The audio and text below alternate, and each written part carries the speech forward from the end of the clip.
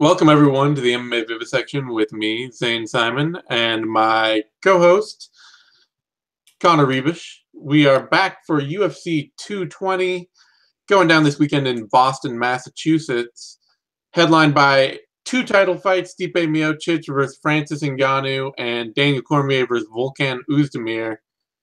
And uh, okay, other than Gian Villante versus Francimar Barros, which I just I don't even know why you'd make that fight, let alone put it make people pay for it. As a main card for a pay-per-view.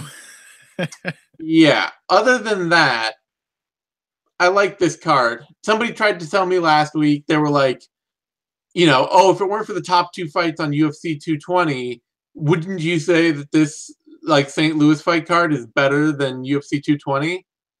It's like, okay, first, you can't just remove the good parts of something and then claim it would then be bad because sure, everything yeah. works that way. Yeah. You, you, cut all the best scenes out of They Live, and it's really not a very good it's movie. Not good. yeah. Absolutely. Yeah, but, it's uh, um this is like the standard UFC card going forward, I think. Is yeah. like you get I mean, in this case, we're very fortunate uh, and I say fortunate because there does not seem to be any co- cohesive design to making these things happen in the UFC. Yeah. It's been a huge complaint of mine for the last several months now, but we we are fortunate to have a truly like nail biting, interesting main event because yeah. we have this like, Tyson esque figure, McGregor esque figure in Francis Ngannou who comes out of nowhere and has obliterated people so thoroughly that he's not even been tested. So we don't even know what a lot of the ways in which Miocic might be able to test him. And so that is fascinating. But the rest of the card, I totally understand anyone looking at this, any average fight fan looking at this and saying, what the fuck?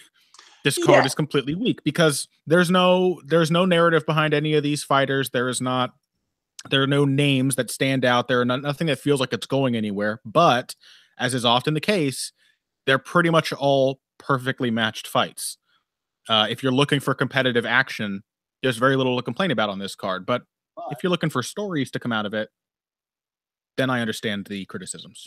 Yeah, I mean, the thing is, is just that outside of the uh, outside of the main and co-main, and I outside of that one Villante Barros fight, I mean, the, the UFC roster is 500 and 70 odd, 80 odd fighters deep. You're not most fans just aren't going to know a lot of these people anymore.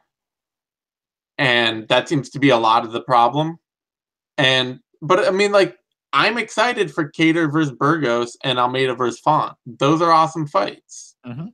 They are going to the- give you the violence thrill you would want for from a pay per view. They won't give you the name value, but they are going to they're going to show up and be violent fights, no matter. Yeah, the real what. the real problem is that, like for example, fans don't know who Shane Burgos is still. Yeah.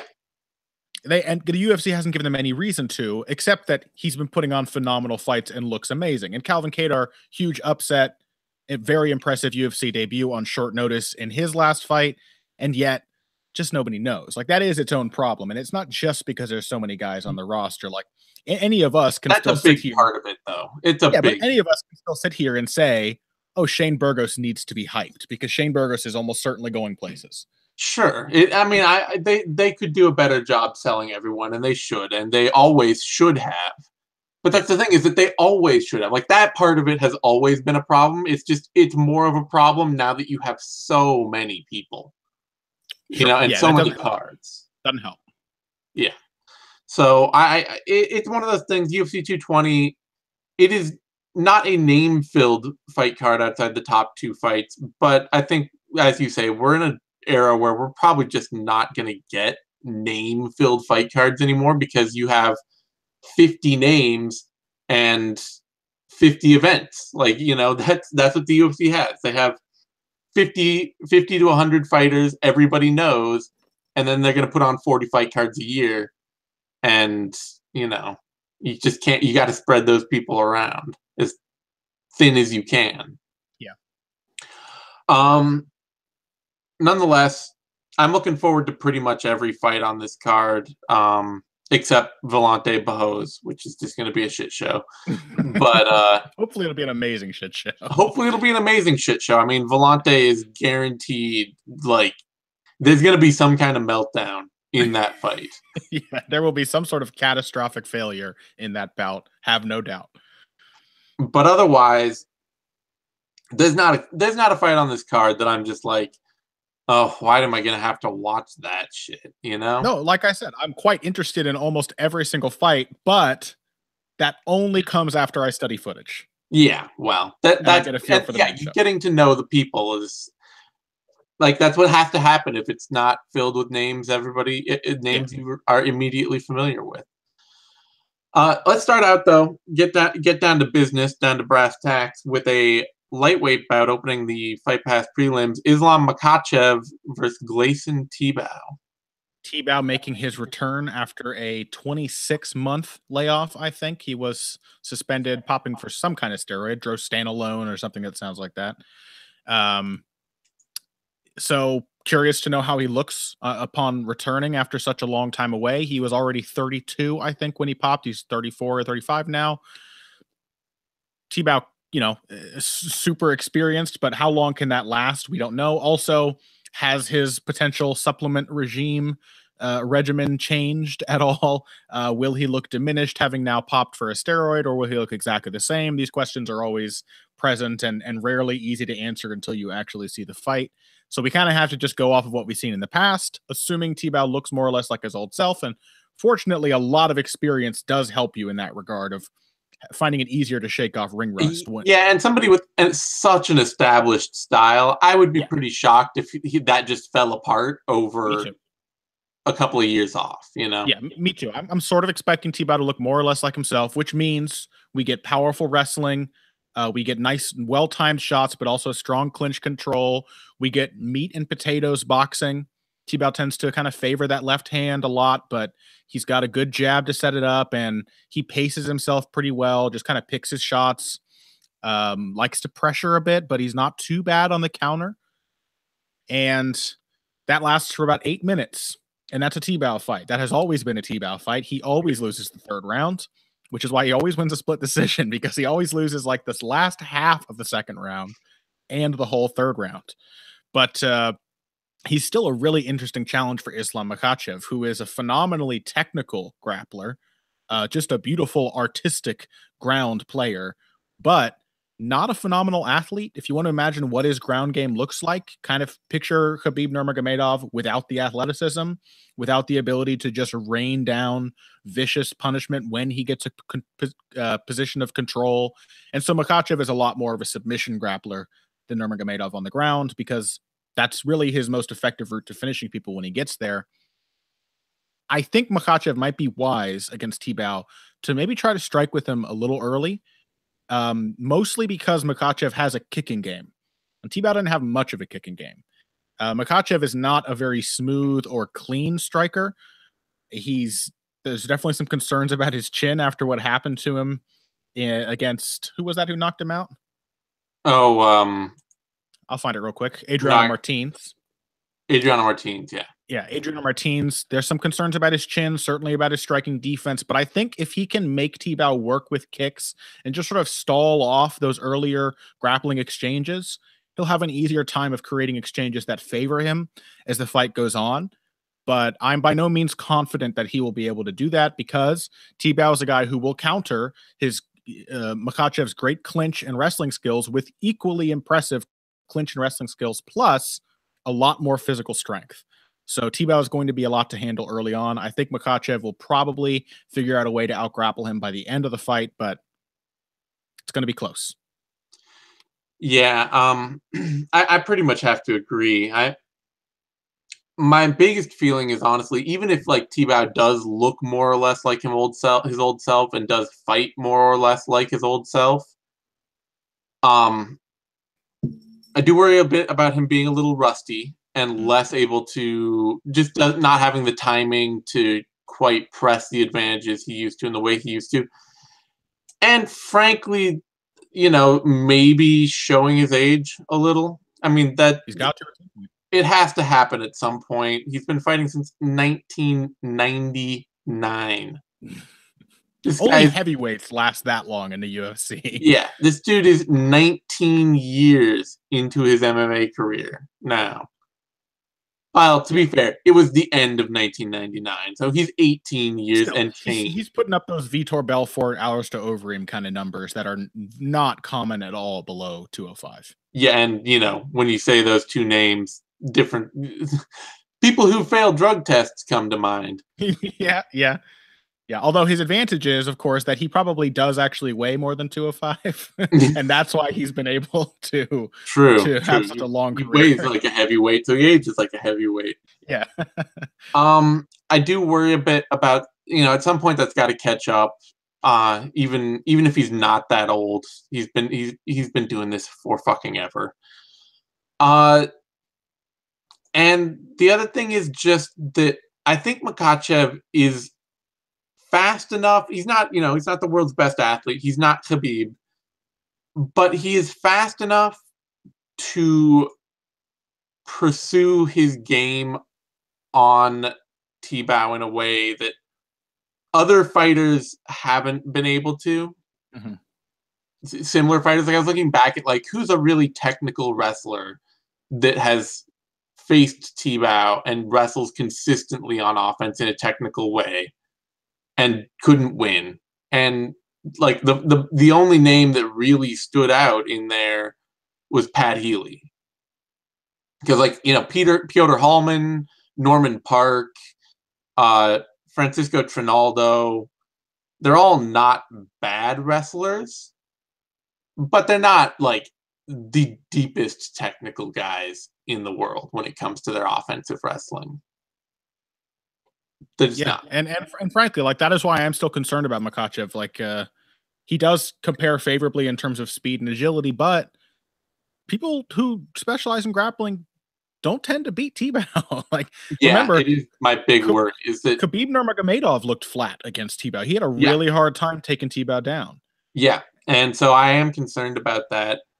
I just feel like if Tibau is going to be off at all, if he, yeah. if we know he's going to fade down the stretch, and if Makhachev can stay technical all fight and Tibau's not hmm. very likely to hurt him bad enough to finish him, it's I mean, Tibau's last knockout was Caol Uno in 2010. Yeah. if all those things are gonna happen, then I I gotta pick Makhachev to take over just that little bit earlier to win yeah. the fight. Yeah, a slow start would be a very bad thing for Tibau. So even if he's just the slightest bit rusty, that I think might be the window Makhachev needs to to get the ball rolling sooner than most Tibau opponents do. Indeed.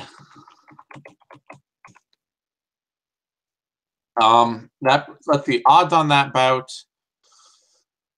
Makhachev is the un, is the favorite opened at minus 270 odds have jumped up and down a bit on him but evened out about minus 218 and are currently slowly sliding down to minus 238 now so.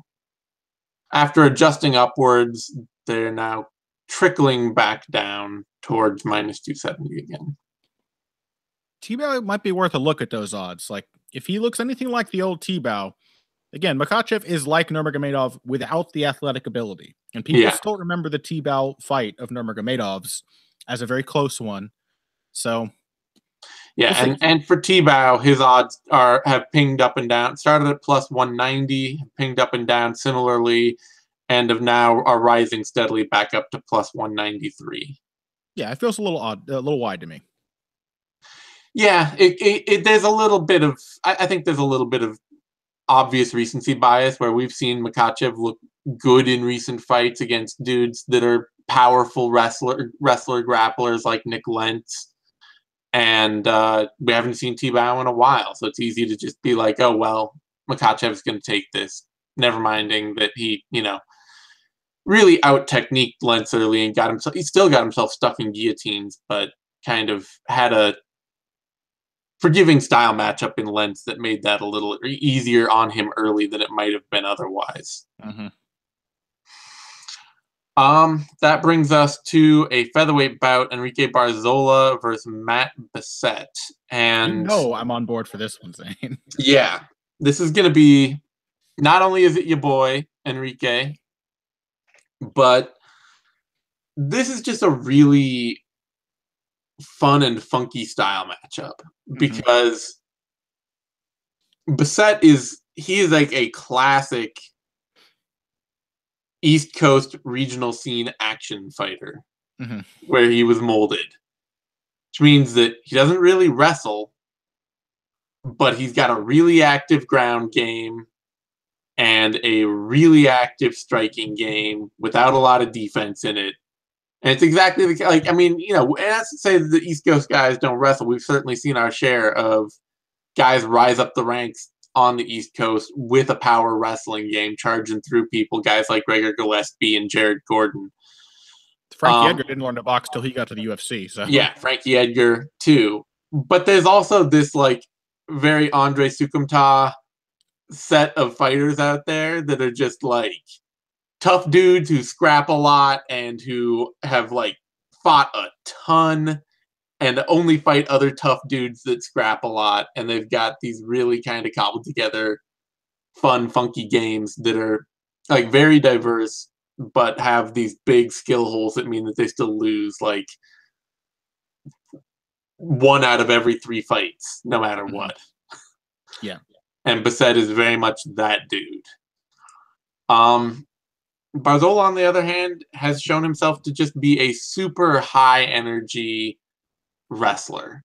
And he's coupled that with a very willing chin based striking game where he will just throw, like, he'll throw a lot of power high kicks, a lot of winging hard strikes to get himself into takedowns, get himself into body locks. He's kind of like, he's kind of like the Peruvian, um, oh, it'll come to me. Um, Darren Elkins. You know? Yeah that works. Or like a like a slightly more athletic peruvian charles rosa. Yeah. It's weird funky cobbled together style but it all works.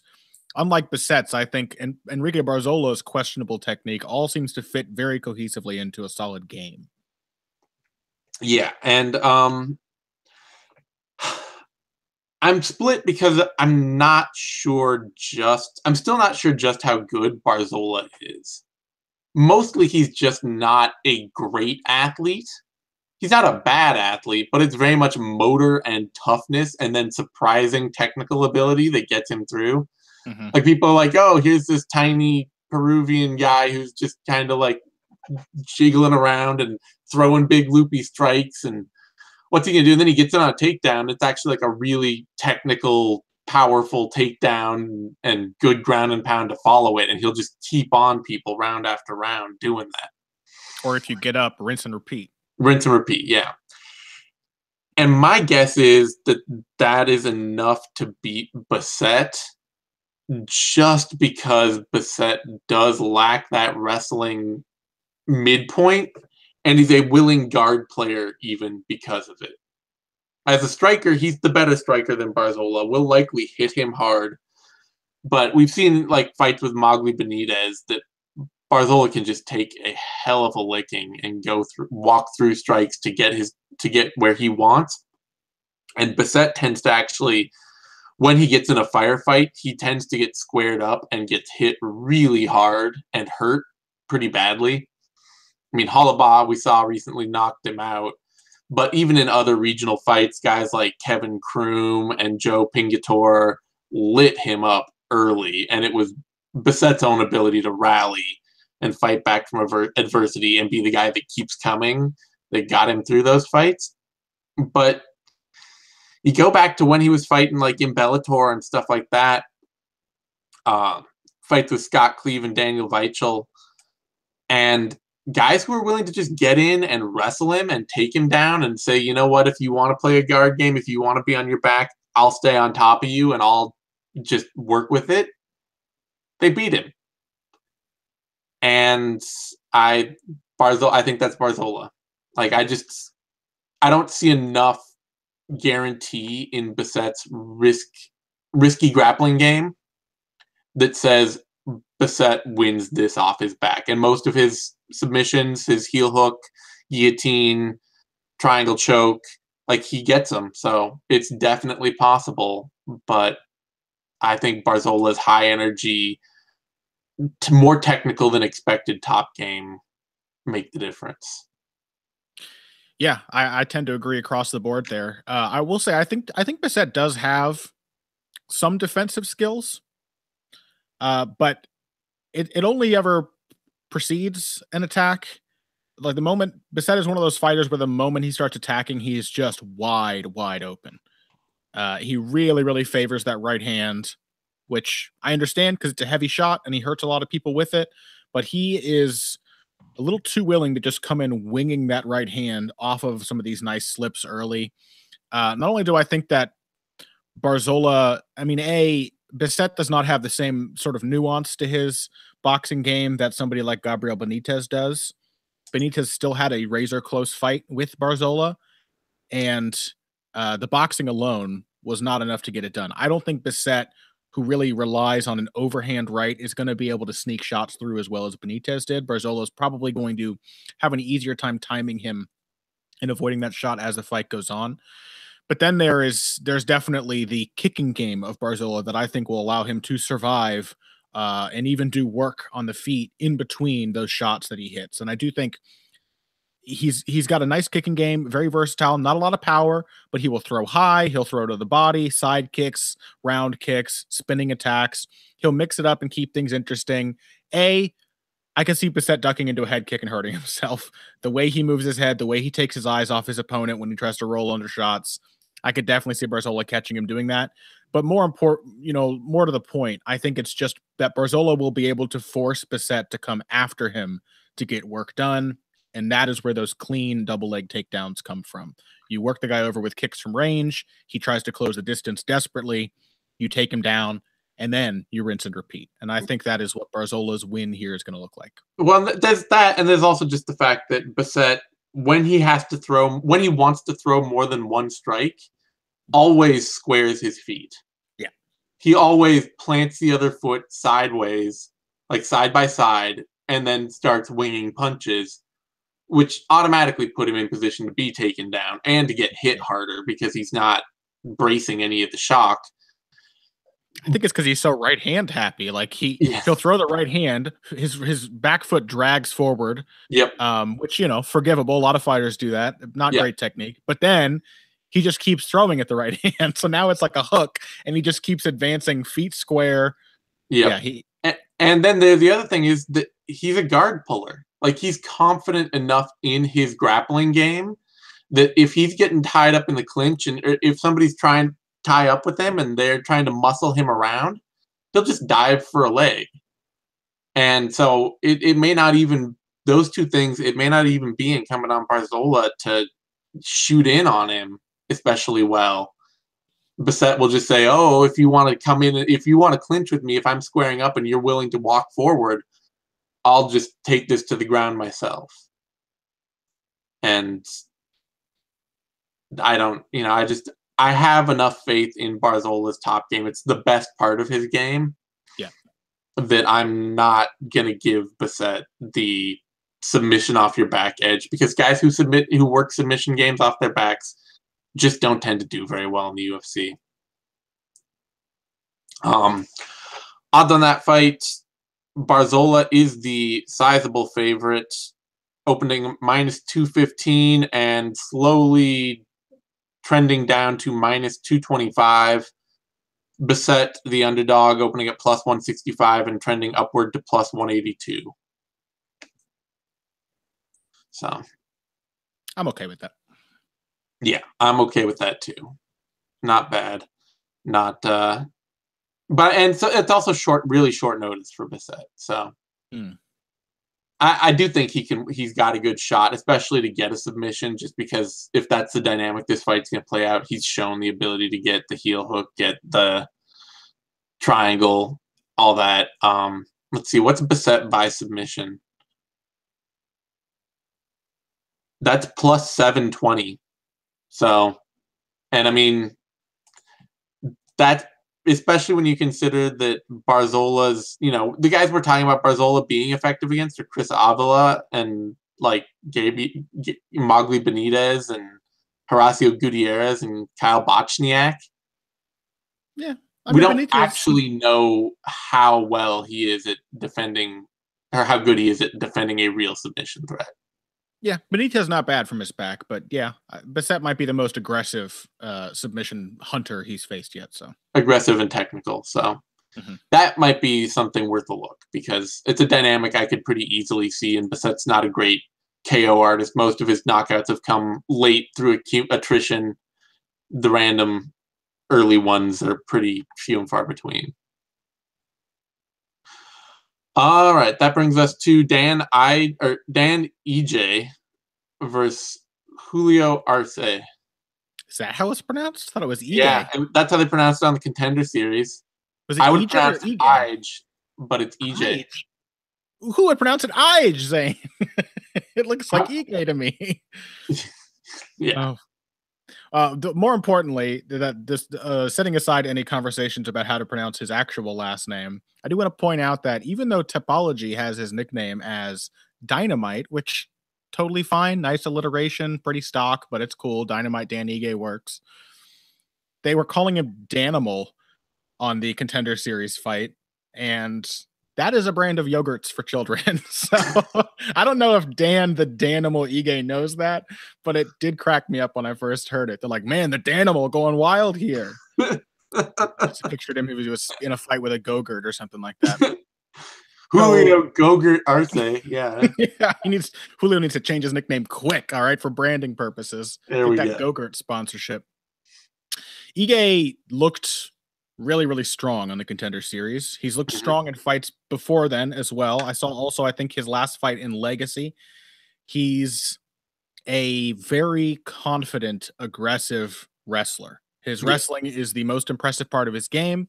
Uh, he's very, very strong from the clinch. That is, I think, where his wrestling really lives. He can hit a reactive shot. He can catch a kick or something like that. He's he's good because he puts a ton of pressure once he's engaged in a takedown. So if he's catching a kick, he doesn't have to quite get it. He will just run you off your feet while you're off balance and end up in a strong position. But in the clinch with the body lock uh, is where he does really, really well. He's got a great knee tap that he likes to hit from that position. He does a good job of reshooting once he's engaged. Nice takedowns from the rear waist cinch as well. Uh, and he does a good job of striking on breaks. It's actually something I've noticed that he does very consistently. Is he will look to throw a combination when he gets separation from the clinch tends to land clean and pretty hard. Uh, striking prefers to pressure. I wouldn't say there's a ton of nuance behind what uh, Ige does, but he's certainly game and willing to stand on the end of your range and hunt you down. As long as he has you retreating, he's pretty comfortable with the strikes because they lead into his wrestling. And then on the ground, very good positional control. Uh, he's I've seen a few really nice slick back takes from him. Seems to have great control from that position. Even uh, just foregoing the hooks a lot of times and using butterflies from the back to kind of keep the legs elevated. Really cool stuff. Uh, it's going to be a clash of styles because Julio Arce is first and foremost, uh, my read on him, a boxer. The man likes to throw hands mm-hmm. and maybe a little shockingly hittable early uh, for somebody who carries that rep- reputation. But Arce has proven himself throughout his career, not just in his Dana, Dana White contender series fight, but before then to be a pretty effective adapter. Uh, if I recall, his first fight with Brian Kelleher, who is of course the Brian Kelleher is the uh, oh man, what's the name of the guy with the tiny blue underwear who fought in the UFC? Why am I blank? Dennis Hallman. Dennis Hallman yeah, Kelleher is the Dennis Hallman to Arce's Matt Hughes. He just mm-hmm. can't be. the first time, close fight, got better down the stretch uh, as Kelleher, he sort of started to adjust. And then Kelleher submitted him instantly in the rematch, which is kind of what happened to Matt Hughes when he rematched to Dennis Hallman. I think that Arce is going to really, really want to pressure Ige here. He's going to have to watch out for reactive shots when he does but really, what he wants to avoid is being backed into the fence and allowing Ige to dictate terms in the clinch. If Arce can make Ige back up, which he may be able to do as the fight goes on, Um, once the jab starts pumping, once he starts feinting and drawing things out of his opponents, his combination punches are just vicious. He puts his shots together really, really well, very accurate, got plenty of power in his hands to get the job done. Uh, but aside from that, I think he's probably going to spend a lot of time backing up and playing defense here before he gets the chance to adjust. I think that I, I see Ige really knowing that he needs to tie Arce up as much as possible in this fight. And I really think he has a technical edge as a wrestler from that position. I think that's going to carry him, but I think Arce is going to get super dangerous later in the fight as he keys in on Ige's striking. So incumbent upon Ige to make that wrestling happen early and often, but uh, he is my pick. I don't. I just maybe I have maybe I didn't watch enough tape on him, but my base read on Ige is that I don't trust that he has enough functional offense right now to yep. win, especially against a uh, pretty well schooled, pretty experienced volume striker like Arce. Mm-hmm. Um, I just you know you you see the way Ige strikes, and it's you know looking for these single big power shots, eating strikes in the meantime, some of which hurt him. Um, and then you know trusting that he can get like wing his way into the clinch, and then in the clinch, like he's not a very damaging fighter. He will get takedowns and tie up and can do that well. Mm-hmm. But there's not a lot of violent offense coming from him in the clinch. And on the ground, he's he's a little like when he tries to open up, people tend to get up. You know, he can have good control, but it doesn't come with offense, finishing offense. And his record kind of bears that out. Like he just doesn't have very many finishes for a dude as powerfully built as he is. And I think for for somebody like Arce who is experienced enough to be able to scramble, to be able to uh you know, to be able to like limp out of things, fight off takedowns as much as he can, and who you know he's not a great athlete, so he is going to get stuck. He's not the stronger athlete here. He's not a, a fantastic athlete, so he's going to get stuck in moments but I think when he isn't stuck, he's going to be filling the rest of the fight with enough offense that he, I don't trust Ige to be able to match it for pace or variety or style. Yeah, it's very po- possible that Ige, uh, in making Arce work and trying to keep the pressure on him early, wears himself out before he wears Arce out. Yeah, that Arce does come across as a very like calm and composed fighter. He seems to do well under pressure. Not that he can't be pressured to a loss, but it doesn't break him the way it does some other you know less yeah and I, like having seen Ige get stung a couple times standing where he, mm-hmm. he's gotten hit pretty hard arce is very much the kind of fighter who if he hurts you a little is going to start hurting you a lot like he Absolutely. will just open up and start pouring offense onto you and I don't know that that's something that Ige's even had to deal with yet in his career. Like, I don't know if that's an adversity that he's had to face. And so I'm not trusting him to be able to take it here. Fair enough. Um, Arce is the favorite, opening at minus 180, adjusting up to minus 147. It's stayed pretty much there now at minus 151. Ige opened at plus 140, adjusted down to plus 113, and uh, over to now plus 125. So I think that's fair. I, I mean, I think it's a it's a it's a wrestling style matchup, style clash matchup that should favor EA on paper, but Arce's uh his experience and his level of competition and his volume striking style, I think he deserves to be favored even on short notice. Yeah, I mean Arce is one of those guys that um, those of us in the community have kind of been waiting to enter the UFC for a couple yeah. of years now, at least. So he's definitely not to be overlooked. Uh, that brings us to a flyweight bout: Dustin Ortiz, Alexandre Pantoja, and this is going to be a fun fight. This is going to be a fun fight, especially because it's all all the questions here for me are with Pantoja. Like you know exactly who Dustin Ortiz is and how he's going to show up. He is going to if if he gets except the that, chance, except for that last fight where he just well, blitzed Hector Sandoval in 15 seconds. That even, I mean, I, I I rewatched that and I was like, you know, there isn't anything about this that was new to Dustin Ortiz. No. No, it just he doesn't just, normally result in a knockout. he just caught Sandoval perfectly. Like yeah. it's the same Dustin Ortiz who, given the opportunity, will drop into the pocket and be busy with his hands and throw tight, fast punches, but still get hit a lot. Partially because his head's so big, partially just because he's never really fleshed out a striking style beyond being busy with your hands. yeah, Sorry, that's not great for me being off camera, but no, no, I, a sort I, of rope punch defense. Yeah, um, but he's you know he he is generally tough.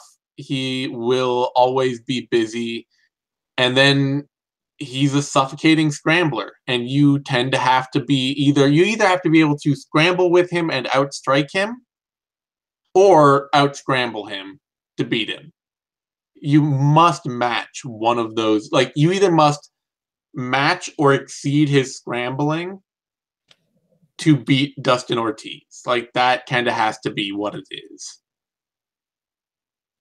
And I don't know about Pantoja there. Because Pantoja, like, his striking style is going to lead exactly into what Dustin Ortiz wants. He probably could outpower and outstrike Dustin Ortiz if he wanted to play a patient, pick you off at range, be creative game. But Pantoja is going to throw three strikes and wind up in the clinch because all of his offense is like this sort of tilt forward windmill to get, you know, that brings him inside. And he will then get taken down or take you down whatever is acceptable to get into a scramble where he can try and turn the fight into something exciting and get a submission. Mm-hmm. And he's good at it. There's no question. But I don't think he's good enough at it to beat Dustin Ortiz. Like, you know, dudes that have really been able to make that work Jussier Formiga, Wilson Reis, Joseph Benavidez, they tend to be the cream of the crop. And guys even like Justin, Justin Scoggins and Ray Borg have been on, and Zach Makovsky even have been on the wrong side of making that happen. Mm-hmm. And I don't trust Pantoja to be. I, I, I just I don't think Pantoja's athletic enough, honestly. Like he seems like a dude who gets by a lot on just being unchecked in his aggression and being like, I'm gonna be I'm gonna be more there than you are. And it gets him past fighter like Eric Shelton, whose game just wasn't that deep and who's kind of willing to get pushed a little, get pushed around a little. But it I don't think it works against Ortiz, who you really have to you have to be able to consistently push him and consistently force a fight out of him that he's uncomfortable with. And I don't think Pantoja can do that. Like I say, I think if he could just keep it standing and kickbox Ortiz, Ortiz is hittable. He's hurtable. He is uh, mechanical, but Ant- Pantoja's sort of windmill style just leads him into the clinch too much for me to be com- comfortable with that. And I mean, it did for Moreno too. But Moreno was also losing every minute of that fight until he caught Ortiz and choked him out. Yeah. Yeah, he was getting thoroughly controlled and I don't know, getting taken down four times by Eric Shelton. I don't have confidence necessarily even in Pantoja's yeah. ability to maintain a striking match if that is what he yeah. wants to do. I think really you hit the nail on the head when you pointed to his athletic ability. Like I, I think that's what it comes down to. Pantoja has the guts and the uh, endurance of a phenomenal athlete. He will just keep doing his damn thing. Uh, the volume he put up in that Neil Seery fight and the pace that he fought at against a pace fighter was pretty impressive. But that's also Neil Seery, who is also not an athlete and is also like 39 years old. Uh, Dustin Ortiz is yeah he he he. I mean, this is totally going to be the kind of fight where like it's all going Dustin Ortiz's way, and then he just gets his back taken and it gets choked out because that just seems like the kind of thing that'll happen. Even though it, like we don't have a pattern to suggest that. It's just been always this bit of like weirdness to some of Dustin Ortiz's losses. He kind of seems to kind of lose his head in the midst uh, when the fight slips out of his control. Yeah. Where he's not edging the scrambles, he can sense it and he kind of loses his edge a bit. But uh, otherwise, I just think he's going to out wrestle Pantoja. I mean, I really just think he's going to be able to get those takedowns working and and as long as he can't, as long as he doesn't get caught on the ground, then I think he's set. Yep. Ortiz, too much of an athlete. Pantoja is the favorite at the moment. Uh, opened at minus 150, adjusted down to minus 179. Has been rising ever since. Is now at minus 145. And uh, Ortiz, the underdog, opened at plus 110, adjusted up to plus 140, and is now at plus 120. So I'm surprised that Ortiz is the underdog. Yeah, I mean, I think it's you know, Pantoja's got some momentum, but not that much. Yeah, and Ortiz is kind of established as a gatekeeper in this division. Yeah, I am not really sure why that would be. Um, I guess the only thing I can think of is the, the Moreno fight, and that people have seen Ortiz lose enough, and they haven't seen Pantoja lose. So, um, yeah. Otherwise, it seems like a very winnable fight, and I expect those odds to keep on closing. So, you know, if if you want to get in on Dustin Ortiz as an underdog, I wouldn't be surprised if that doesn't last that much longer. Mm-hmm. Uh, that brings us to a welterweight bout: Abdul Razak Al Hassan versus Sabah Homasi. A fight. Running this one back. Yeah, a fight we just we didn't see too long ago uh, at UFC 218 ended in a controversial TKO for Alhassan and is now then being rematched because it was such an obviously bad call at the time. Yeah, it was a kind of a weird thing where Homasi took a shot off balance and dropped for a takedown, but then kind of got splashed by yeah. Alhassan. So he ended up in this weird sprawled position. Herb Dean had a very off night that night. Um, too frequent an occurrence, it seems, in the later days of Herb Dean's, in the recent days of Herb Dean's refing career. But it's still not easy to say who's going to win this freaking fight based on how it was going. yeah. Like, we remember we had a hard time settling on someone the first time because like Al, Hassan only knows how to bang. And uh Homasi is like too game to turn him down. He's gonna bang with him. Uh, my feeling is that with more experience, Homasi might actually have a bit of an edge this time around, that he may actually be able to make some adjustments. Alhassan may yet reveal himself to be a fighter who can make adjustments. We've not seen him rematch anybody and, and not really seen much from him in general. He's had such a brief career, but for the time being, he's kind of looked like the same guy each time out. He just goes out there, tries to muscle people, and just tries to bomb on them. And while he was in a good position to possibly end the fight when it was stopped uh, the first time, he, you know, he also got tagged a lot. You know, both guys were just beating each other. So yeah, I, I don't know. I, I, think I'm gonna go on that very vague notion for Homasi this time, and I'm pretty sure I went for Al Hassan last time. So we'll keep things interesting. I think Al Hassan's gonna come out brawling like it was the first fight, and maybe Homasi will have a little bit of a little bit of cleverness to to pick the spots in between those big wild bombs of Al Hassan's. Yeah, it's tough because honestly, I mean, I think if you go moment by moment through that fight and look at just effective offense, Alhassan had really very, very little of it. Mm-hmm. A lot of effort, not a ton clean uh, of clean strikes. Yeah, a lot of stuff he threw landed on Homasi's arms, landed on his elbows. Just didn't really catch anything clean. Swung wild a lot. Homasi swung wild too, brawled too, but generally landed a lot cleaner and better throughout the fight. And I want to say that Al Hassan, the difference is Al Hassan took it better, but he didn't really. The stoppage wasn't because Al Hassan didn't take the strikes that landed on him well. It was just, you know, he got caught off balance, slipped and went for a takedown and Homasi rather. Or Homasi, yeah. Yeah. he got caught off balance, slipped and went for a takedown, and the ref stepped in. And it's not a, it, you know, it was mere seconds after Al Hassan was like looking totally rocked and getting clipped and having his head snapped back. So you can't yeah. be like, oh well, Al Hassan takes the shot better, you know? Yeah, for all we know, that was like the last salvo that Al Hassan was going to be able to gener- generate at that kind of intensity. Yeah. The biggest thing is honestly just because of Homasi's cleaner technique, I have more faith that he can take a fight past the first round and still land his shots well. Yeah. And that's enough to have me picking him here because I think he will be more cautious. I think he will be a little more technically set up. He might even try to wrestle a little bit more and better.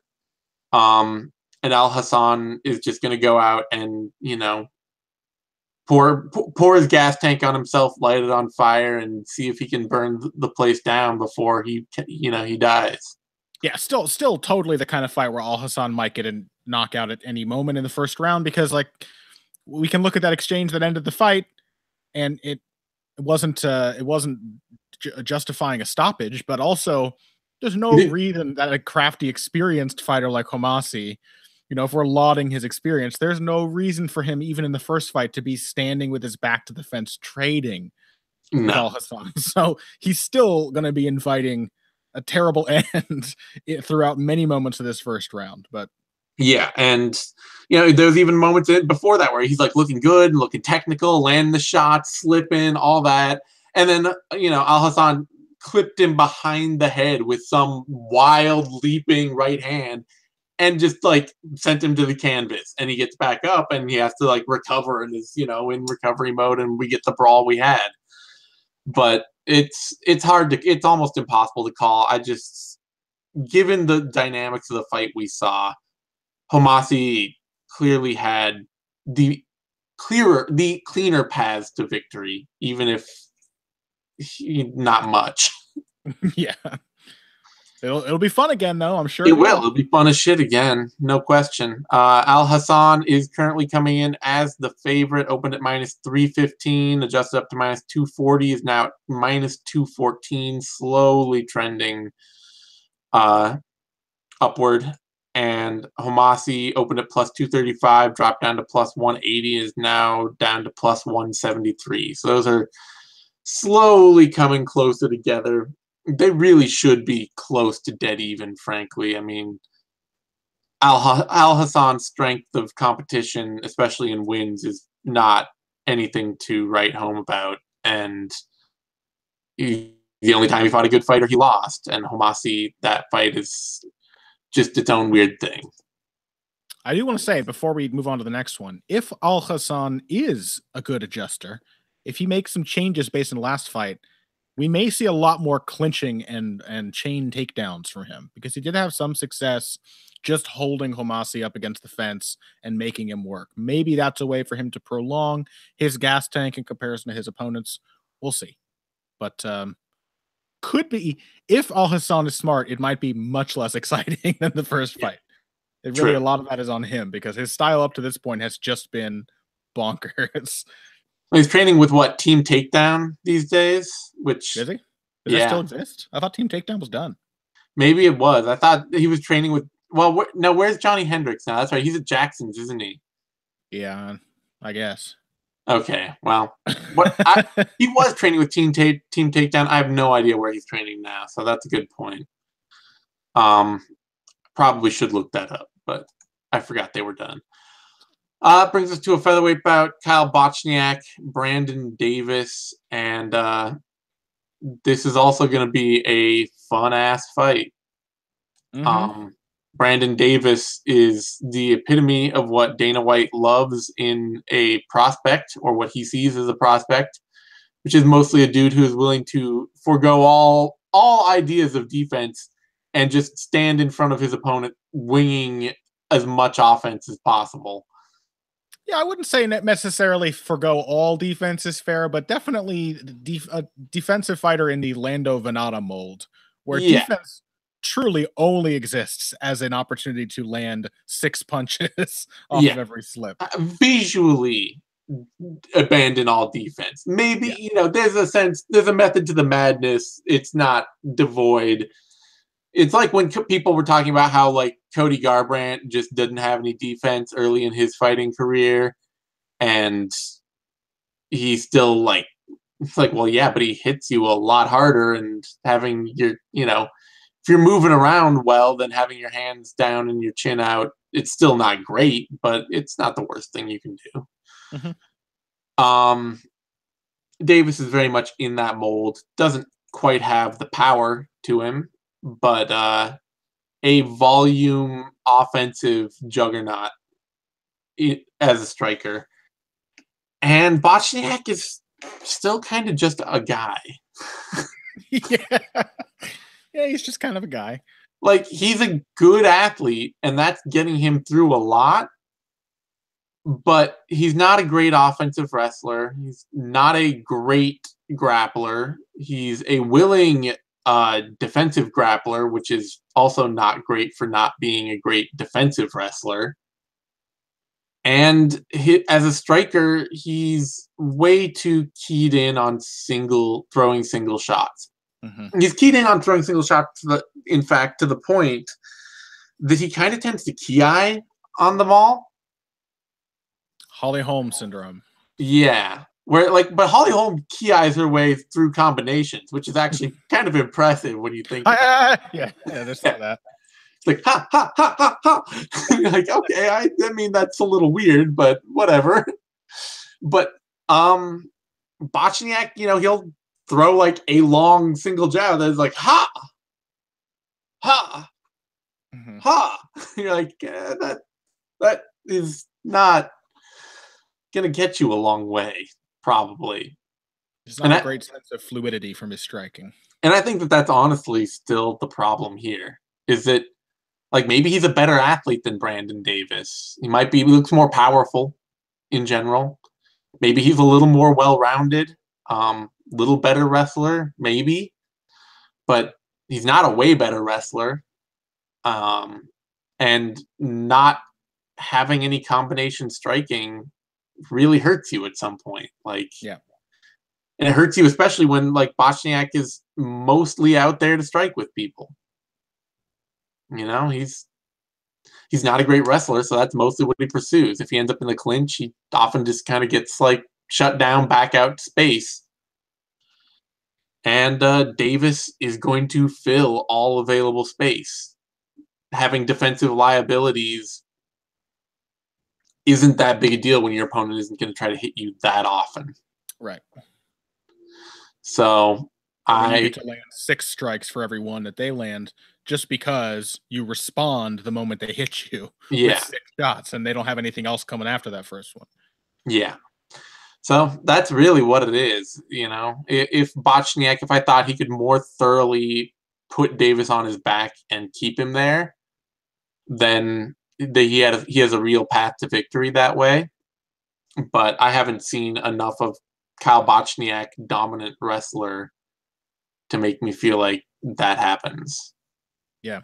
For any uh, viewers who have not seen Brandon Davis's fight on the Contender Series, by the way, go watch it because it was really, really good. It was ex- insanely violent. I want to read to you because these are very, very heavily these are his his average numbers on FightMetric, but these are really just the numbers from that one fight. Uh, Brandon Davis strikes landed per minute, eight point nine three. on average, just based on one fight, he lands nine significant strikes per minute. It felt like more because yeah, the volume, like he really it wasn't the cleanest work. You could criticize some of his his defense. I mean, mostly he was getting caught when he was attempting to throw in that fight. When he was yeah. actually waiting for the shot and defending, he was pretty hard to find. Yeah, he he he's slick. Like you know, it, like I say, it, I think the Cody Garbrandt comparison without the power kind of works. Yeah. Where it's just like, like, he really reminded me of like Lando Vannata without the power. Yeah. He didn't have all the all the same spins and everything, all the the really flashy shit, but.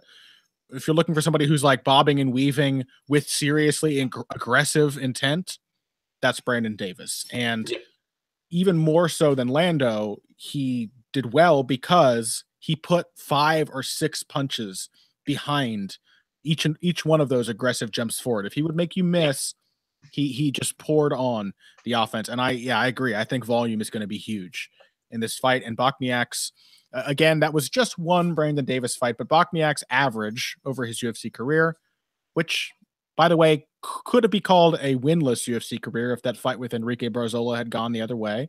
Because I thought Barzola won it. His average strikes landed per minute 2.58. So yeah. I mean that right there tells it paints a very clear picture of who these fighters are coming into this fight. I think Davis is going to overwhelm Bochniak with volume, and if it's anything like his fight on the Contender Show, he's going to start that overwhelming process very very early, and he's going to start very very aggressively. So. Interestingly, the odds on this are close to dead even. Bochniak opened at plus 145, has dropped, adjusted down to minus 102, and is currently at plus 102. Davis opened at minus 185, adjusted up to minus 132, and is now at minus 126. So I would be kind of surprised if Bochniak won this. I mean, like, yeah, stylistically, to, I just don't think it looks show a lot more than what he has shown to win this fight. And Davis only has to come in the same fighter to win. Like that's the way it seems to me. Yeah, I agree. I think yeah, this this is one of the. It's not like there's still a lot we don't know about Brandon Davis's potential, but I do feel like counter to that, we've seen enough of Kyle Bochniak to have a very good idea of where his limits are. And Davis's style seems like one of those hard limits that just that kind of volume, that kind of aggression, and that kind of variety and attack too. I mean, let's not forget Davis is going to be the taller man with a pretty strong clinch game uh, he's just got a lot of ways to continue piling up and diversifying that offensive output. And it doesn't look good for Kyle to me. Yeah, I mean, you consider too, like you know, his career hasn't been very long, but Bochniak only has two knockouts and two submissions across nine fights, and, and like has a chin. We learned that. yeah, for a young guy coming up, like against regional competition, if you're not finishing people then, like there's just not enough offense in his game to be like, oh well, no, he's got he's got that one punch power or that you know slick submission game that's just gonna finish you whenever. Like we don't we haven't seen that. Yep. And it's hard when you throw two and like two and a half strikes a minute. It is hard to get knockouts. Like it's hard to hurt somebody and follow up on it well enough if you're throwing at that kind of pace to mm-hmm. finish people. Yeah, no doubt. Uh, that brings us now to our pay per view card and a bantamweight bout Thomas Almeida versus Rob Font. And this is you, I think. Yeah. Uh, this, as you mentioned at the top of the show, one of the more easily anticipated undercard fights here. I think mm-hmm. Almeida and Font match very, very well. A very attractive matchup between two dangerous strikers. Uh, I do think that Rob Font is going to hurt Tomas Almeida early. Uh, I think we have seen well, enough. Wow, in into the know, crystal ball prediction. Bold, I'm really taking a sticking my neck out with this prediction. Tomas Almeida, not only does he have the the problem that we've discussed many times of being not not a terrible defensive fighter, but being very aggressive and so being there to be hit. He's in range. Um, and we know he gets better defensively as the fight goes on. He gets a read on what's what's happening in front of him. But I think we can safely say he doesn't have a great chin. He recovers well. Yeah, and, he recovers amazingly well. Yeah, and it doesn't seem to shake him mentally really. Like he he he gets right back into the fight and just gets back to what he's doing. But the man can be dropped, and it doesn't seem to take that much. Like uh, I already said this on Heavy Hands this week, but uh, if you go back and watch Almeida's fight with Jimmy Rivera, which I recommend anyway because it was a really fun fight. Yep. The two of them traded left hooks, and uh, Almeida got dropped in the first round. And if I if you showed me a freeze frame or just a slow motion lead up to the impact of the two punches, which landed at the exact same moment, I and told me one of these fighters goes down, I would have expected it to be Rivera because Almeida got, I think, the cleaner impact with his hook. It was a nice, short, compact punch. Seemed he had some weight into it. Didn't matter. Rivera ate that shit, and Almeida could not eat the less clean hook that he received in return. And that is a problem for him early. Rob Font has power in his hands. He's got yeah. long arms. Um, I think he's going to not have too much a hard time finding the target, but I do also think that Font is kind of one of those fighters who, um, I may say this about Calvin Kattar later too, but he he kind of falls into these patterns with his striking. He kind of struggles to break out of this set tempo that he has, and uh, and when he does, it's like there's there's a little too much thought going into each thing, so then he can get caught out in exchanges. It takes some mental effort on his part to break out of just being like a one-two machine from long range, and Tomas Almeida is going to maintain that pressure. He's going to become harder to fit, harder to hit as the fight goes on, and he has a tremendous amount of variety to his offense. And I do want to highlight too um, something that I have never praised Almeida for, but Paul Felder made sure to. I think it was Paul Felder on the mic when uh, Almeida fought Rivera and pointed out that he is a phenomenally accurate striker, which he is. He he he really really just has a great sense of his distance and where his targets lie. When he throws a right hand down the pipe, it tends to land clean on the button. For somebody who tends to get hurt even when not hit clean, Almeida's counter to that is to be a very clean puncher himself. So I think Almeida is going to find his way into this fight as he so often does. And I don't think Rob Font has the wrestling, um, certainly not the top control, nor the variation in striking to keep him off down the stretch. Yeah. The, the biggest thing, honestly, to me is what we've what we've seen from his from Font's losses to Lineker and Munhoz is that I don't think Font takes getting hurt very well. Mm. Like I don't think he's got he, he doesn't have he doesn't have a great chin. It's not an amazing chin. It's not a bad chin though. It's but when he gets tagged, I think his wheels start turning. Like where it's like, oh, you know, I got I'm I'm a little like that. That's not good. That's yeah. I got to make sure that doesn't happen again. You could see that in the Lineker fight, where Font yeah. clearly had the right idea, and did yeah. a lot of the right things, but just sort of started to crumble yep. under the pressure. And the thing is, is that that happened against Pedro Munhoz too, where he, like, mm-hmm. he starts out and he's nailing him with this jab, and he's got you know he's showing all these good strikes, landing on Munhoz at will, who is a a punch bag. You know, Munhoz is absolutely there to be hit by anything because his style is all based around stalking straight forward and throwing punches with shorter arms than you. Except for the predilection for pressure, he is the anti Almeida because yeah. chin is phenomenally good. Yeah. But the defense is not there at all. yeah. And Munhoz, like he was just picking Munhoz apart. But Munhoz wouldn't go away and suddenly Munhoz, you know, kept stepping through and started landing a few jabs, started landing a few good shots that were solid. We know Munhoz isn't a big power puncher, but he was landing. I mean, you know, he. It's just we've seen. He's not it. a knockout. Yeah, he's not a knockout artist. Uh, but he kept stepping through and landing solid shots on uh, Font, and started to hurt him a little. And when he started to hurt him a little, suddenly he started to punch him and hurt him a lot. Like yeah, Font became very reactive. Very reactive. Didn't see shots coming very well, and eventually got hurt and subbed out. Like mm-hmm. got clipped hard enough that he had to go for a desperation shot and got submitted. And he can't afford you can't afford to be that guy against Thomas Almeida. Like you either have to at that point you're saying I either have to put this guy away immediately or I am going to crumble to his fight style. Yeah. And I think we've just seen that too much. I mean, the guys Font has beaten uh, Douglas Silva de Andrade and Matt Schnell, um, or Joey Gomez and even George Roop. Like you're looking at a combination of dudes who have terrible chins and don't recover in Schnell and Roop, and guys in Gomez and Silva de Andrade who just do not have deep enough striking games to make somebody like Font pay for his rhythm.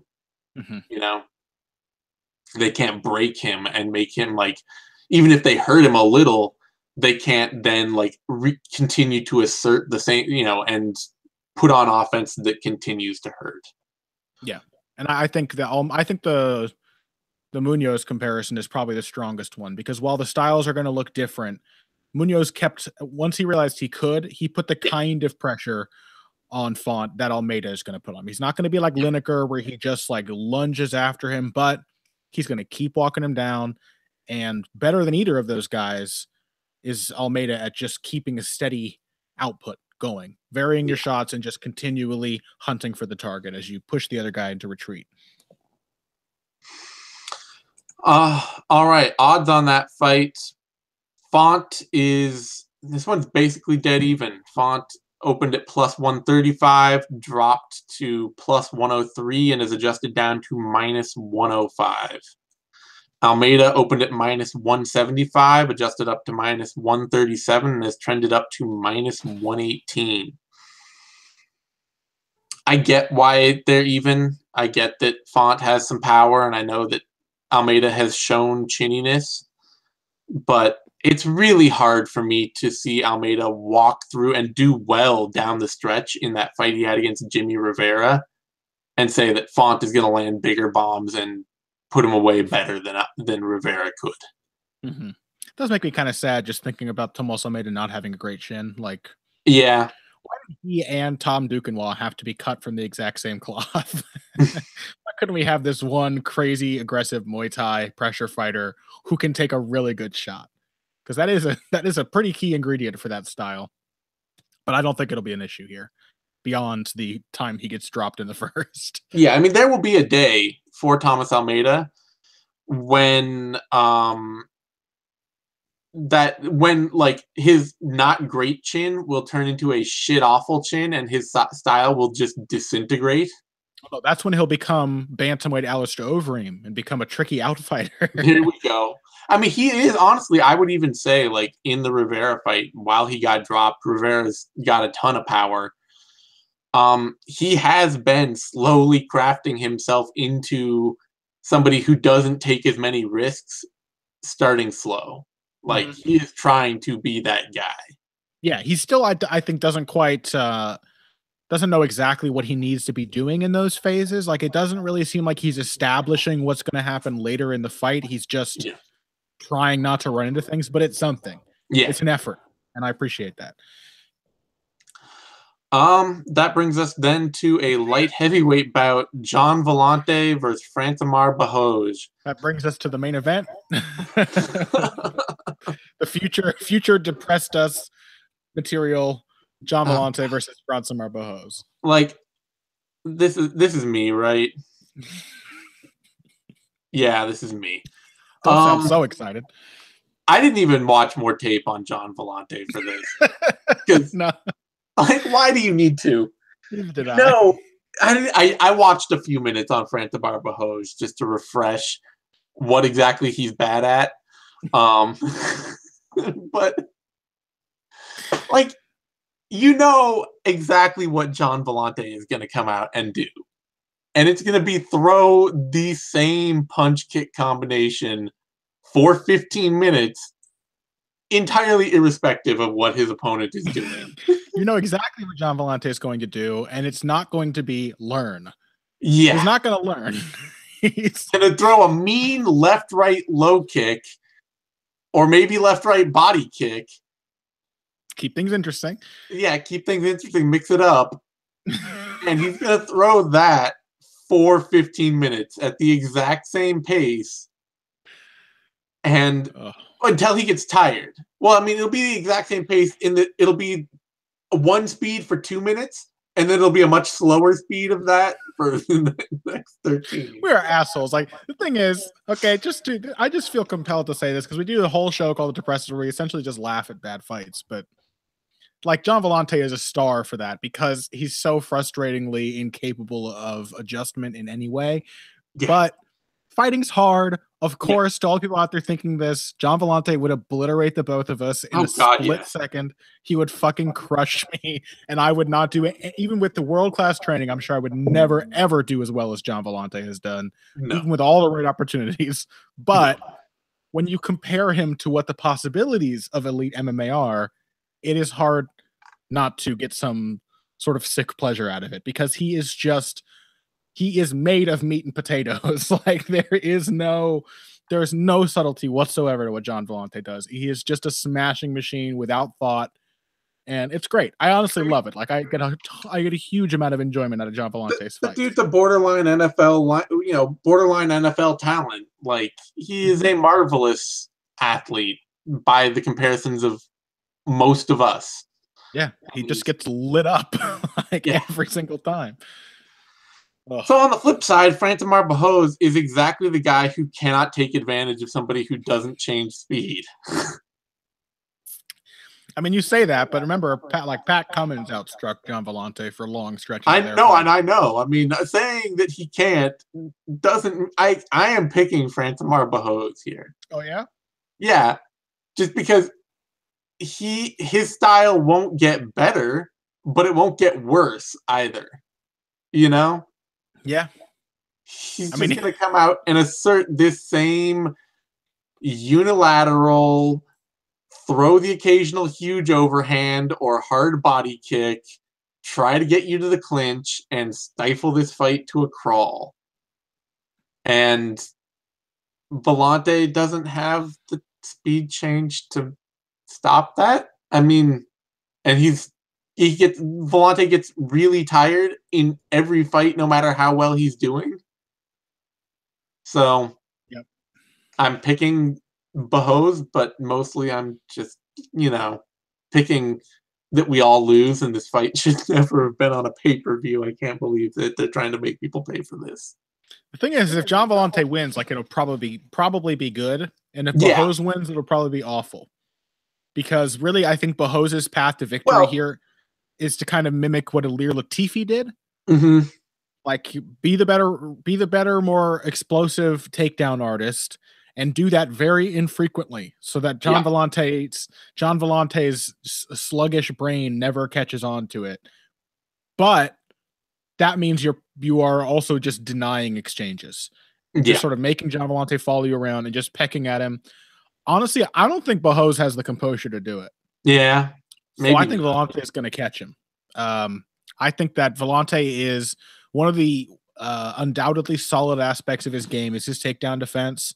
He's, I mean, p- partly it helps that he's huge. He is really is like heavyweight sized, and yeah, he honestly might want to just consider going back to heavyweight because it's not like as we said on the Depressors people aren't really going to hit him that much softer at heavyweight and he won't have to cut any weight so he might feel better. Who knows? But he's a big dude and difficult to take down from the outset. Pretty solid scrambler getting right back to his feet especially if he gets uh, taken down by the cage.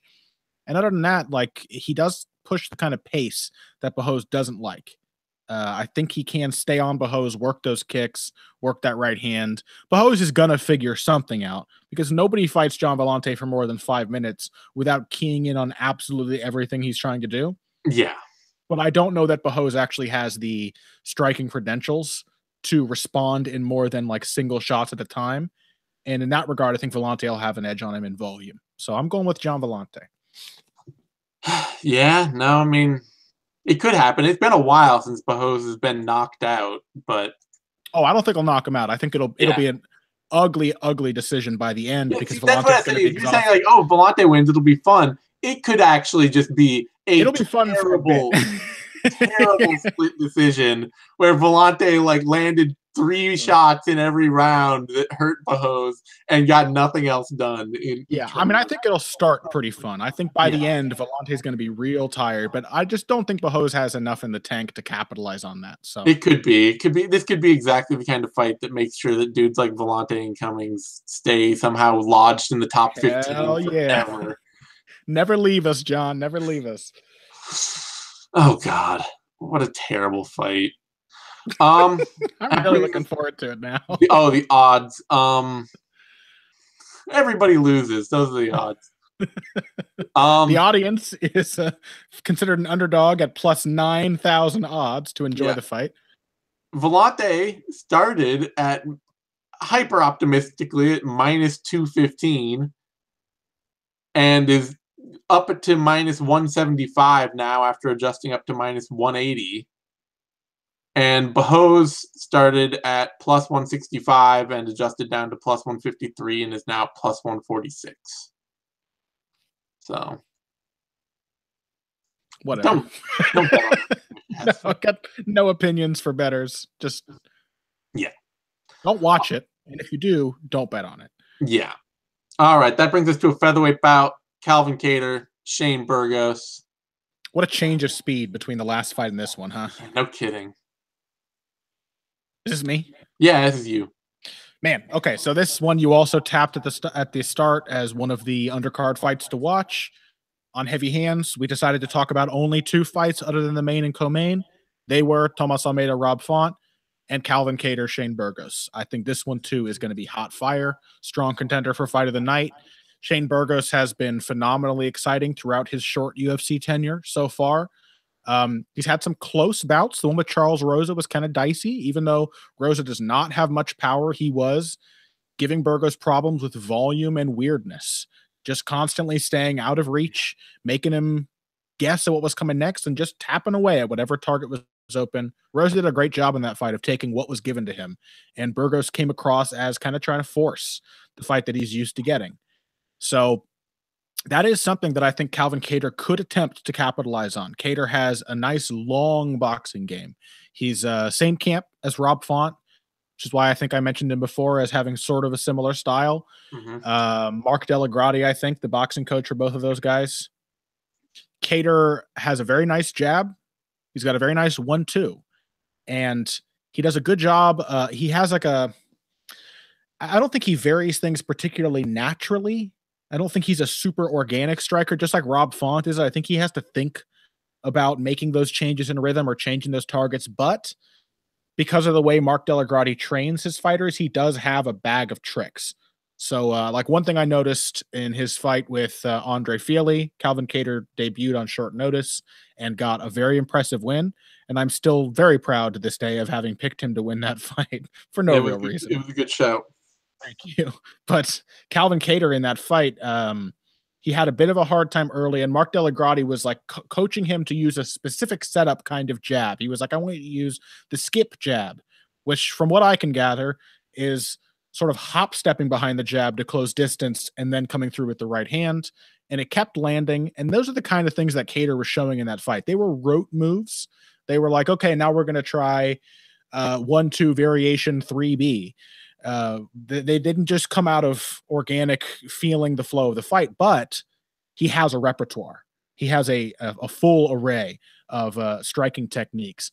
I do think that Burgos is going to read that kind of thing eventually, though. Burgos is. Uh, we've already talked about Tomas Almeida not being a bad defensive fighter.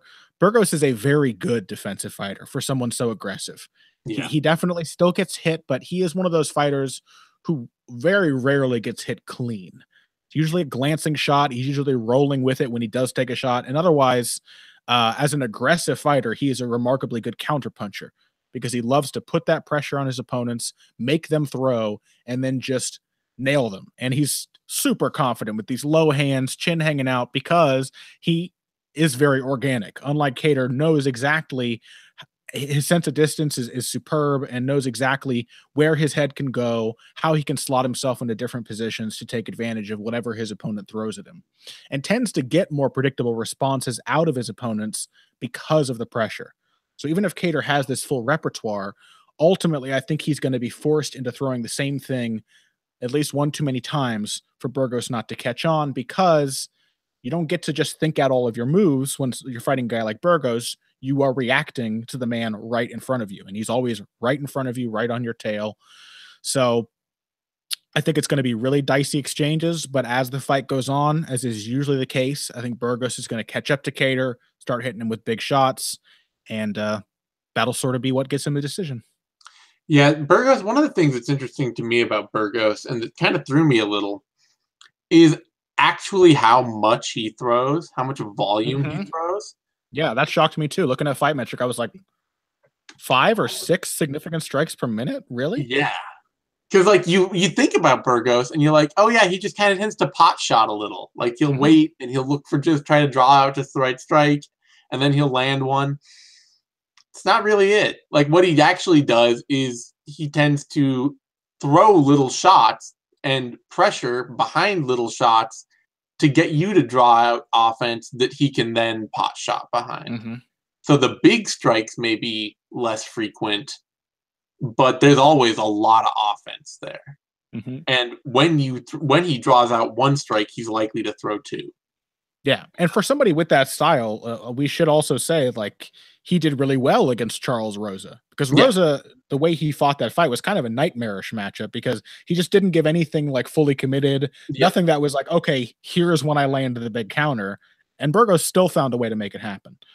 And, and that is actually, I think, one of the things that may unfortunately serve Kattar for the worse in this fight is he may actually be a little too technical to mm-hmm. fight Shane Burgos well. I know what you mean. Because like the thing with Burgos in his fights with like Godofredo Pepe and Charles Rosa, he got caught a little in each of them. Like Pepe kept catching him with this wild winging right overhand, and Rosa's pretty much all just these, you know, wild kicking game. And they're really like unstructured and unpredictable. And for a guy who's relying on his ability to predict movement and have his hands down and just sort of like know when to step out and what moves to make and how to get out of a situation, he got tagged a bit for it. And Kattar is going to come in being polished, being like, no, I jab, double jab, jab, jab, cross you know, jab cross body kick and all that. And I think that might actually serve Burgos a little better here. Mm-hmm. The big thing I think though is um, this is going to probably be a it, it, this will probably come down to being a tougher round one for Burgos than anything else, just because I expect that Kattar will try to assert himself as the pressure fighter to start think he would be wise to. Yeah, make yeah. make Burgos feel that pressure. And Kattar is fast, and yep. even though somehow Burgos has longer arms than Kattar, I think he's shorter but has a, insanely long arms. Yeah, Kattar does fight long, and uh, can do a lot of good work if he's got someone on the end of his punches. So yeah, I think he yeah. might. I, I think that would be very wise to just pump one twos, make Burgos back up, and keep it on him for the first few minutes. Because Burgos you know he has to have pressure he he wants pressure to fight as well effectively. Yeah. he wants to be a pressure counter fighter that's what he's looking for. And Kattar is really almost entirely best served as a pure pressure fighter as somebody moving forward throwing combinations just you know landing their own shots without giving space. Yeah and I, I think too, like you, you hit on something there. Like Kattar to me is like a boxer puncher. That's what I would call him mm-hmm. if I mm-hmm. had to name one of my favorite boxing style archetypes. The question for somebody like Burgos though is, is he a counter puncher by nature or is he a pressure fighter by nature? And I have a feeling he's a pressure fighter. Yeah. Uh, he, he I think that the counters don't work as well without the pressure rather than the other way around. I don't think he can counter as well off the back foot. So Kattar having a little more flexibility to his style could make things really interesting if he pressures early because I think that like if Burgos ever ends up in a fight where he cannot begin to pressure, his game might totally fall apart. It might, yeah. So I'm I'm really excited for this one. I am too. the the The other thing that I would say too that kind of sways it, it'll be an interesting flip side is that Kattar is very into late round takedowns with good ground and pound. Mm-hmm. He doesn't really have a ground game, but he is the kind of fighter who likes to try to throw somebody to the mat late and land a bunch of shots just to put a stamp on the round. Mm-hmm. Burgos isn't easy to take down, but he is willing to cede some control inside with the idea that he can just kind of slick his way out and find the better shots when he does, or he can make you work harder. And I don't know, it's an it's an edge to watch. Yeah, well, yeah, Bur- Burgos likes to let people kind of hang themselves. So yep. there's there's chances for Kattar to to play with that that uh yeah. I'm I'm picking Burgos, but I I I think it could the first round is going to set so much of the rest of the tone for this fight because yeah. that's the other thing. The other other thing, one final other is that Calvin Kattar is tough as shit. Mm. The dude is fucking hard as nails. He has never been knocked out. And what we saw in the Fili fight a lot was Fili trying to get him back him off and just getting hit harder and not being able to like Kattar just walking him down, walking through yeah. it. So I mean, Burgos is tough as hell too. We have seen dudes try to tee off on Burgos, try to make him pay for walking them down, but this is really going to be a fight about two two guys trying to assert a pressure game early and seeing whose pressure game wins out. And mm-hmm. I think it's Burgos just because Kattar's is a little more mechanical, a little more predictable, but there are no guarantees. Yeah. Can't wait, man. Love this one. I love that fight. Um, Calvin Kattar is the underdog, opening at plus 185, adjusted down to plus 138. Had dipped down and uh, down to plus 109 at one point, and has risen back up and is going trending up to plus 154 at the moment. So those odds got a lot narrower and have widened since. Burgos opened at plus or minus 265 trended up to minus 133 and are dropping back down now minus 184. Um, I feel like this could be a little closer, honestly. I really do feel like I'm not like I I I trust Burgos's style more. I trust his active defense more. Kattar is more hittable, and I'd like Burgos's output, but there's going to be it's an interesting st- thing that you look at the guys that Shane Burgos has fought Thiago Trator, Charles Rosa, and Godofredo Pepe, and none of them come close to mirroring what Calvin Kattar is going to try to do. No, and they're and they're kind of um fighters who don't really have any freedom of choice in how they fight Shane Burgos, like whether through their own limitations, like Charles Rosa had to fight Shane Burgos the way he fought him. Godofredo Pepe couldn't fight Shane yeah. Burgos any other way than the way he fought him. Calvin Kattar is the first opponent we've seen in the UFC on Burgos's level who has like a, a lot seems to have a lot of tactical flexibility to his game. So, and you can even say too in the Thiago Trator fight, like Burgos, uh, you know, he brutalized Trator early in that fight, but when it got late and Trator just was like, well, I either get knocked out or I just keep asserting myself and going forward, he had a lot of success. He landed a lot of shots on Burgos. Yeah. Still got Burgos still got the better of it, still won the fight, but Trator isn't a powerful striker, isn't a big featherweight. And Kattar is not like Kattar's not that hard a hitter. He doesn't have a ton of knockouts, but he's definitely a lot bigger and more powerful. And he has the he has the balls to commit. He will yep. step into a shot like he he was going after Andre Fili in that fight. Yep. That counts. It's going to be a fascinating one. Yeah.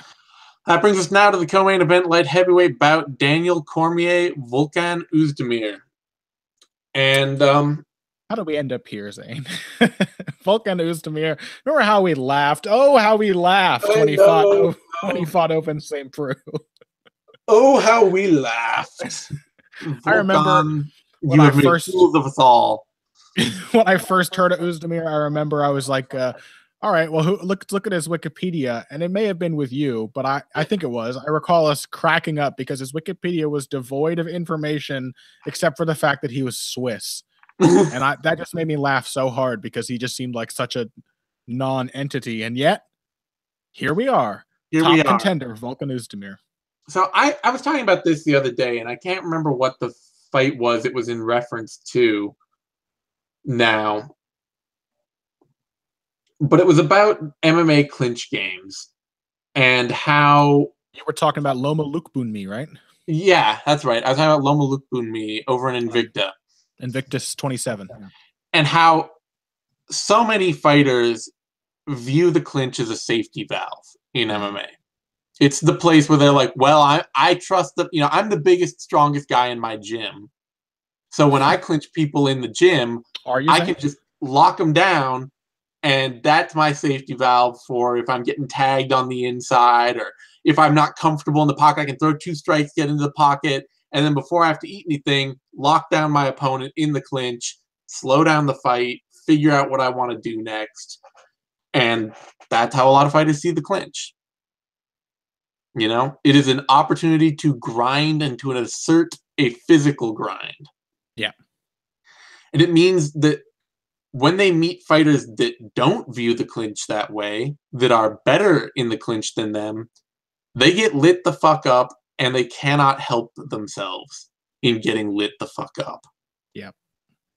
And I think it's worth making the small some argument that um Volkan Oezdemir's UFC success is in part due to that fact.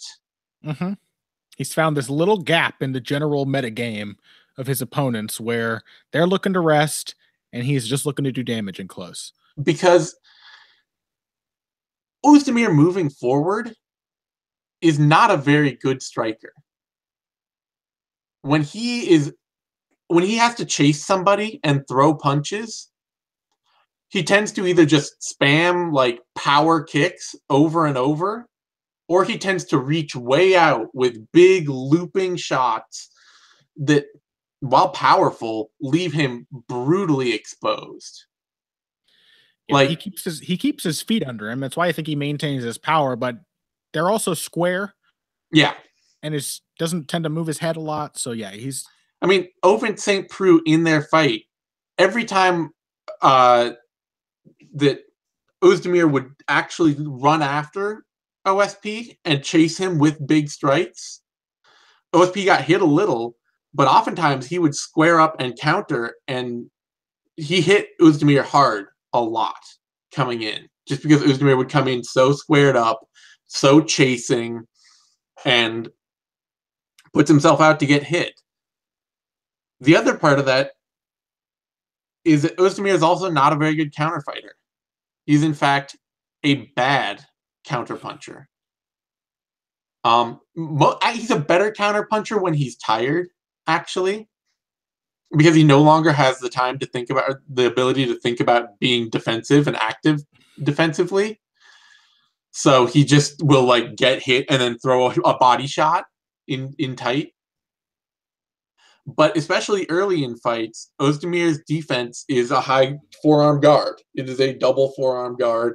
Yeah. And one of the reasons that I don't like to see a double forearm guard in MMA is that it basically just says, I am not going to be a counter puncher at all in this exchange. It also oh, says, pertinent for this matchup, please take me down. Yeah. It says, take me down. It says, find a way to to angle your shots around my guard. basically just do what you want because it's yeah. like I it, it says I'm just defending punches to the head. Yep. All right. I'm blocking. So do whatever you want that isn't a straight shot into my arms. And that's how Oezdemir defends, you know? That's how he defended against Misha Cirkunov when Cirkunov ran at him. That's how he defended when Jimmy Man against Jimi Manuwa when Jimi Manuwa came at him. That is just how he defends. And the key the big difference has been in the clinch. When Oezdemir, you know, he a lot of why he chases with his strikes and is willing to like run forward behind big shots is that he wants to clinch up. He wants you to be forced to clinch up with him, and he, or he wants to clinch up with you. Either way, he doesn't care, and he doesn't really care about control either, because he sees the clinch as an opportunity to create offense. That's where he's comfortable when he has a hand on somebody and can land punches. And he, you know, absolutely shocked Misha Cirkunov with a shot up against the fence as Cirkunov ran into him and he circled off. It wasn't a counter shot. Like Oezdemir, they had to get back into the fence, circle out, and then find that shot afterward it wasn't just like a stepping back, like, oh, I've landed this perfect hook as you're chasing me.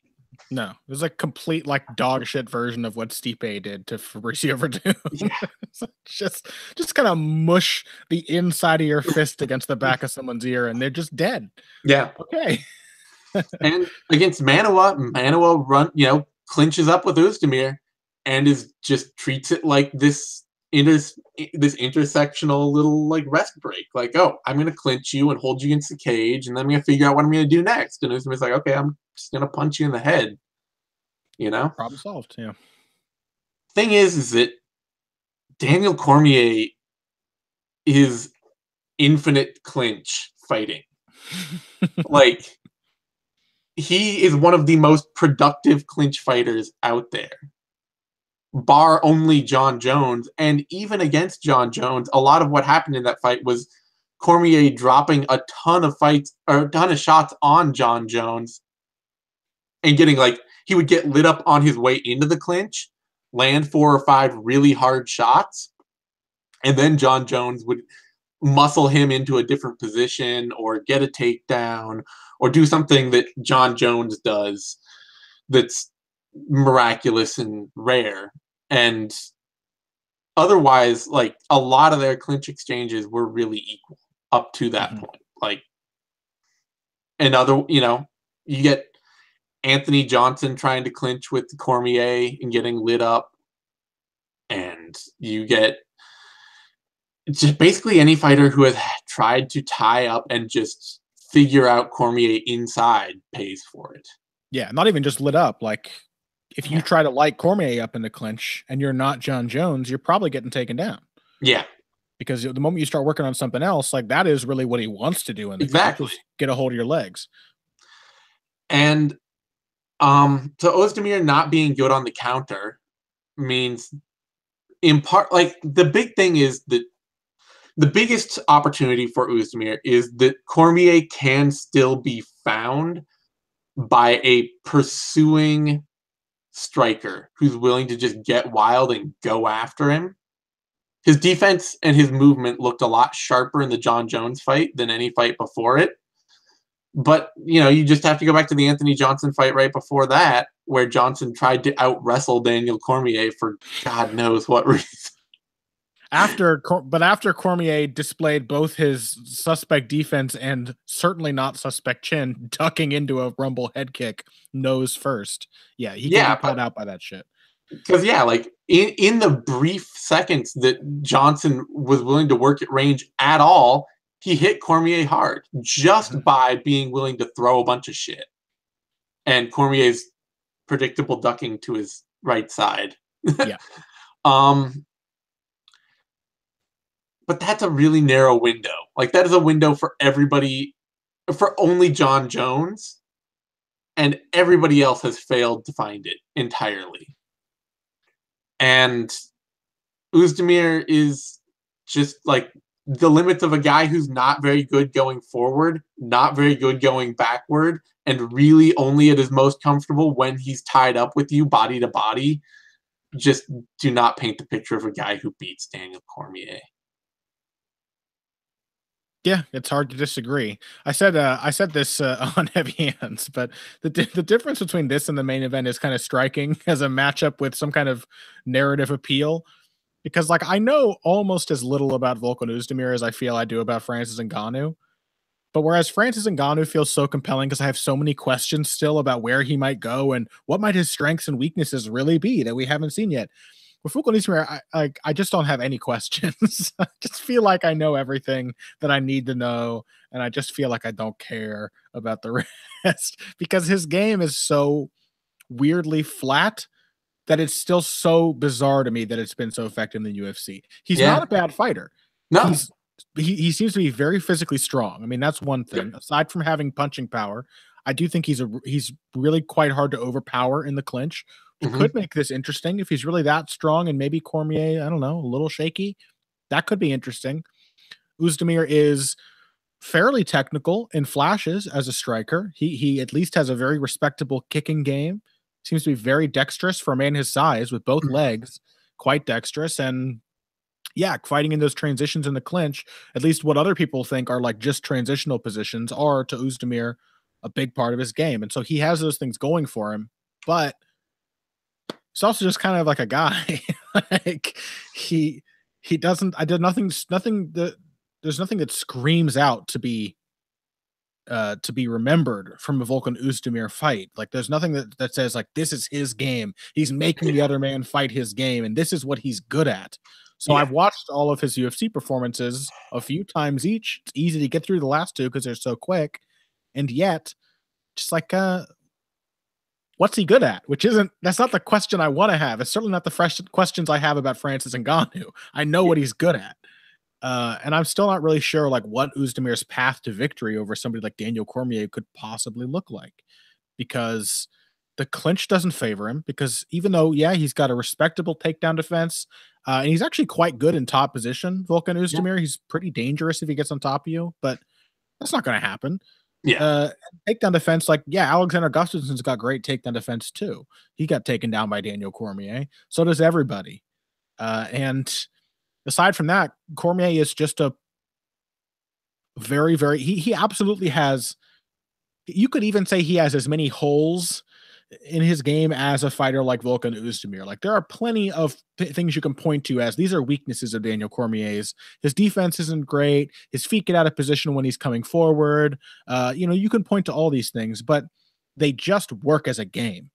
They mm-hmm. work as a whole stylistic framework. And with Oezdemir, it just still feels like he's just stumbling dick first into all of his wins. like it just kind of feels like they just happen. Maybe that's me just catastrophically underestimating Volkan Oezdemir, but well, I, I, think the big thing really is just that inter that intersectional offense thing and the fact that MMA above 170 pounds is a different game than it is below 170 pounds, and there are still plenty of fighters in middleweight through heavyweight who just are you know, doing playing the sport like it's 2005, like or 2010. You know, it's sort of like, well, the, we've got the punching part, and we've got the wrestling part, we've got the grappling part, and occasionally, you know, like, oh, you know, somebody landed some knees in the clinch. Oh my God, what is this? Like, yeah. But no one would ever accuse Daniel Cormier of being uh, lost in transitions. He's no. quite good in transitions, and so it's just like Daniel Cormier all the way. yeah, it's it's got to be. Odds on that fight: Cormier a pretty reasonable, a pretty sizable favorite. Not huge, but uh, opened at minus 380, adjusted up to minus 280, and is trickled back down to minus 334. And Oezdemir opened at plus 260, dropped down to plus 240 or so, 230, and has risen back up now to plus 266 kind of feel like this is the whole like we've gotten so tired of putting long odds on Volkan Oezdemir that we just can't afford to do it anymore. yeah, we've lost too much money. So just make it close odds and we'll take a small loss this time. Because it does feel like it, it, it's a terrible style matchup for him. But I guess he's probably going to win. Yeah, he's probably, going to be champion in perpetuity after this. He's just never going to lose because everyone's going to get booped 30 seconds into the fight with him. Can't wait. Indeed. All right. Speaking of guys booping with power. Boop is not how I would describe the kind of knockouts that Francis Ngannou has been delivering. More of a say, really. Yeah, it would be unkind to the deceased in the like, such as Alistair Overeem, to call what happened to him a boop. it was a boom. Okay, a boom. There you go. Um, Francis Ngannou, Stipe Miocic, our main event, heavyweight title fight. Break it down. How how long has it been? I mean, I don't know. I don't want to assume you're feeling the same way I am, but how long has it been since you've been this excited for a heavyweight title fight? It's been I'm a hyped, minute, right? Honestly. It's been a while. Like heavyweight, heavyweight to anyone who's in the know just kind of sucks. Uh, like MMA fans know this that heavyweight fights are not a reliable source of entertainment. And I am hyped for this, and it doesn't mean it couldn't end up sucking. You know what it was? Huh. 2015, Fabricio Werdum, Cain Velasquez. Yeah, that's it. But you know, like if Stipe Miocic is going to get his record-breaking third consecutive title defense, what an event to to yeah. build him as a, as a future star. Uh, if he gets a win over Ngannou, because everybody is interested in, in Ngannou, because he's just been myrtleizing people. Um, there are, as I said in the last part, as I said earlier this week on Heavy Hands, there are so many questions I still have about Francis Ngannou. In fact, that's kind of the basis of the article I'm writing about him right now. Like, can you do this? Can you do that? How does he respond when this happens? Don't know. Um, all we know about Francis Ngannou is what limited amount we've been able to see because people just keep getting killed by him uh, really, really quickly. Yeah. I suspect that Francis Ngannou does not have the gas tank to fight more than three rounds at the pace that Stipe Miocic will prefer. Um, I, Miocic will get tired too. He is also a heavyweight, yeah. just as he did in the Junior Dos Santos fight, just as he did in the Mark Hunt fight. Even when he was completely having his way by the end, he gets worn out, but he's very comfortable with that. That's kind of the wrestler's uh, place of comfort is is being uncomfortable. So I have no doubt that if this goes past the second round, it's Stipe Miocic's fight. Uh, I think it's if it goes past the first round, his odds go up drastically. Yeah.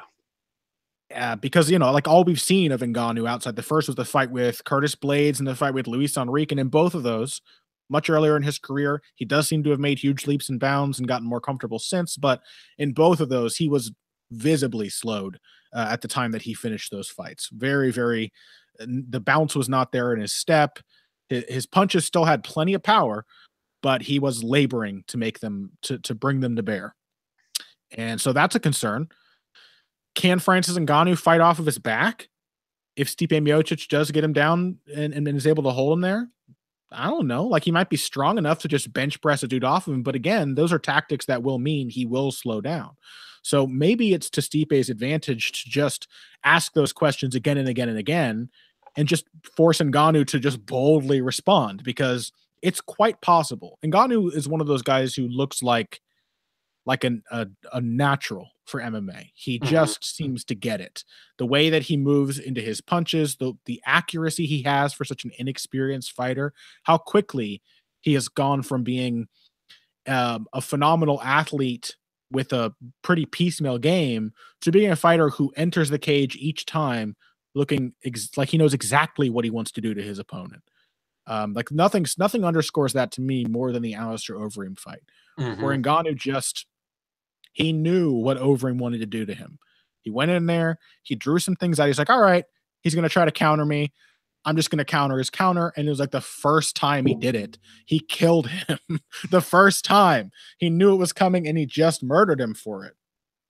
And like, that's the thing is it makes picking a fight like this pretty difficult because Ngannou does have that Mike Tyson, Conor McGregor sort of aura about him where he's he's got so much I can't even call it unearned confidence. It's earned because oh, yeah. nobody's been able to stand up to him. And so he enters the cage now with this sort of aura where it, it's kind of like naivete in a way. Like there's still so much I'm sure he doesn't know, but he can benefit from that by just, he doesn't know what he doesn't know yet. He's just learning new things and then easily applying them in his fights up to this point. So it's like, I think he'll come out extremely confident, and, and much as he did against Overeem. And that's why I think the first round is going to be excessively dangerous for Stipe Miocic. Uh, people have pointed out, Pat and I on, on Heavy Hands talked about Miocic wanting to sort of maintain his distance, interrupt, deny Ngannou the chance to counter. Because I really think the heart and soul of Ngannou's game is his counter punching. It's going to be that going forward. That seems to be just what he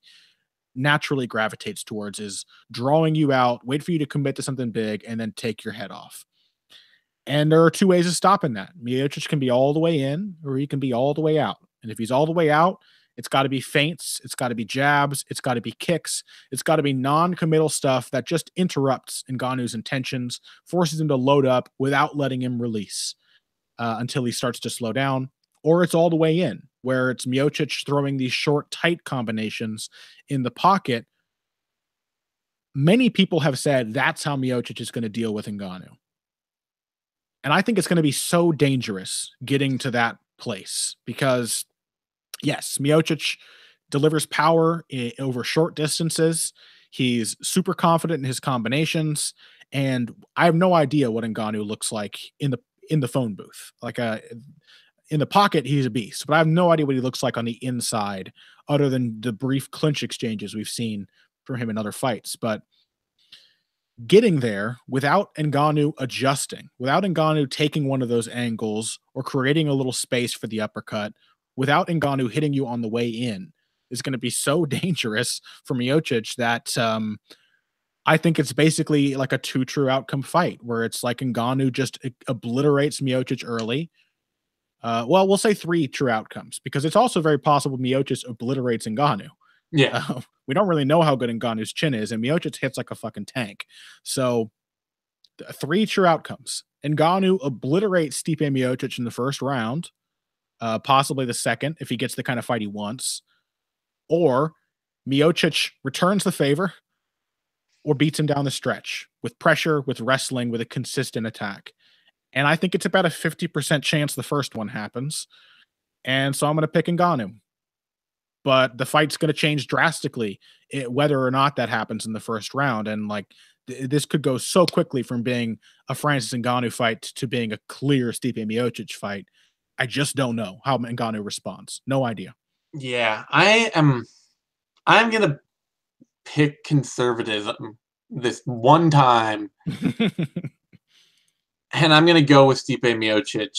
And it's not for a disbelief in the hype of Francis Ngannou because people are like, you know, there are people out there who are like, oh my god, you know, UFC's selling Ngannou on this hype train and people are buying it like he's this unbelievable whatever, yada yada yada.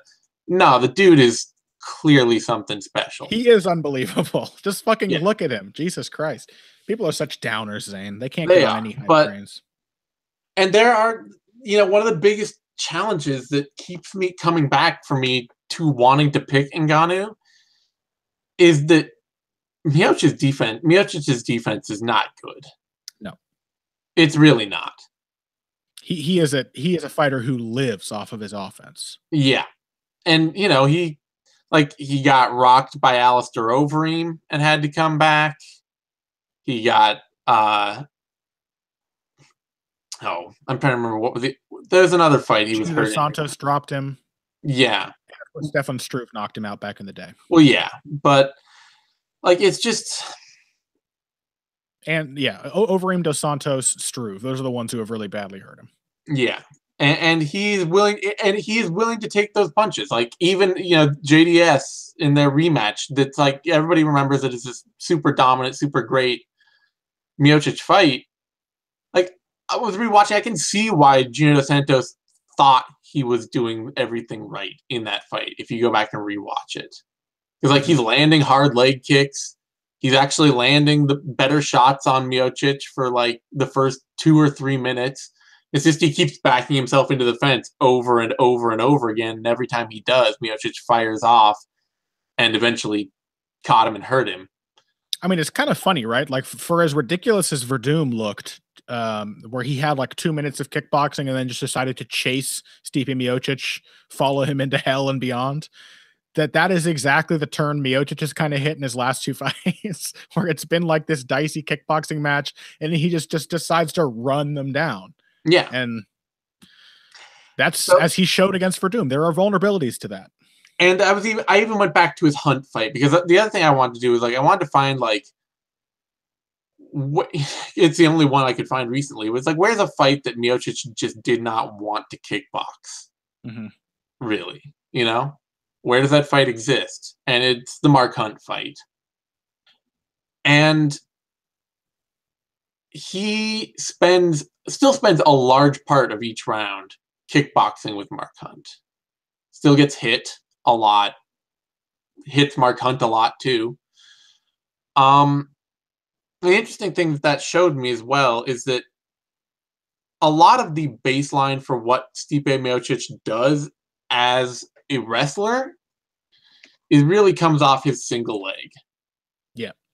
Like he reaches for the single and then he runs the pipe on it or he turns that into the double. He's not going to like power through a big double leg takedown just out of nowhere. It's not tends not to be how he fights. If he's going for the single, he's just gonna or if he's going for a takedown, he's just gonna like reach down and snatch it kind of thing. And the weird thing is that like I've never seen anybody do that to Francis Ngannou. The only way not know how to respond. The only way that Francis Ngannou has ever been taken down is somebody running through him.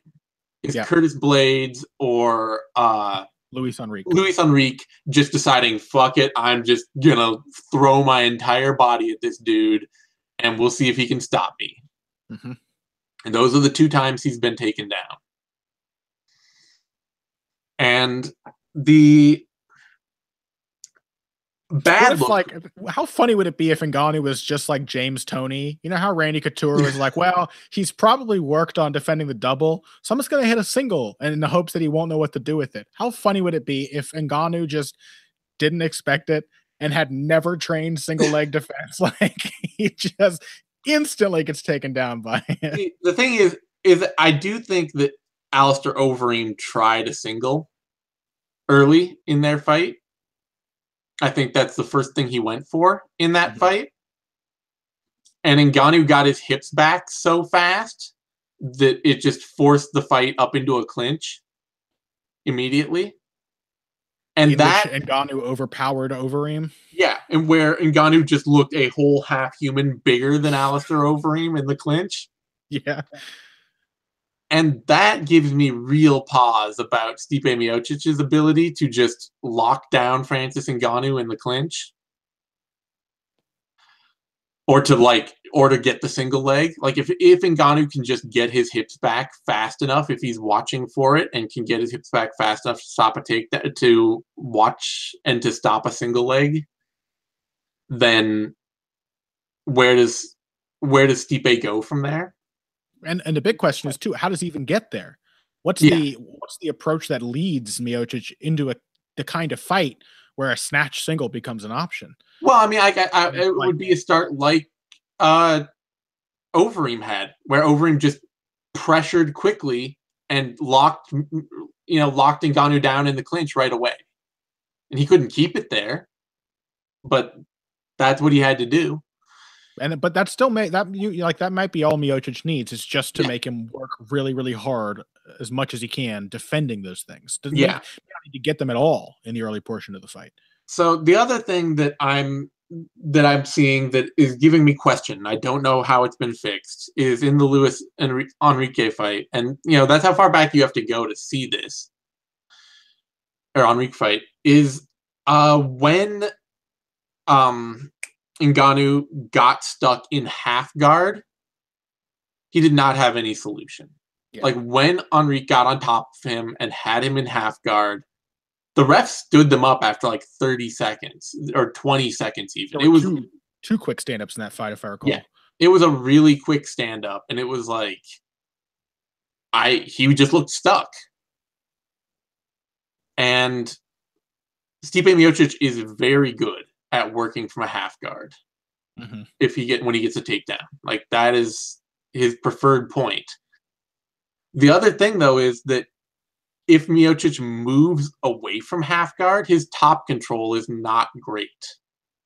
Once he goes to side, once he goes to side, scramble. Yeah, he can scramble right up out from under it. So you have this like really limited idea of I have seen faintly faint visions of Ngannou defending a single leg. I have only really ever seen Stipe lately, in recent memory, hit a single leg. And I have seen Ngannou be bad from half guard, and I've seen Stipe give up half guard and have somebody scramble right back out from under him. And I I'm just gonna pick on the bet that Stipe can stay safe long enough, early enough, do enough to wear Ngannou down, that he can get the takedowns and he can play a grinding fight. Maybe it'll be a kickboxing match, but I worry about how hittable Stipe is. And I worry that he's a step slower. Like that was the big thing for me with the Overeem fight, where we were talking about that. Is like the big reason I couldn't pick Overeem, even with his new style, is that he just doesn't have the speed to match Ngannou. You know? Yeah. And whereas Overeem definitely had the speed to surprise the hell out of Miocic a couple times. Yeah. So I'm saying, man, like I totally see yeah. people come to me like, uh, oh, you picked Ngannou and you were so hyped about him on heavy hands. Nobody's giving Stipe a chance. I'm like, I gave him a ton of chances. It's fucking heavyweight. And I don't know anything about Francis Ngannou.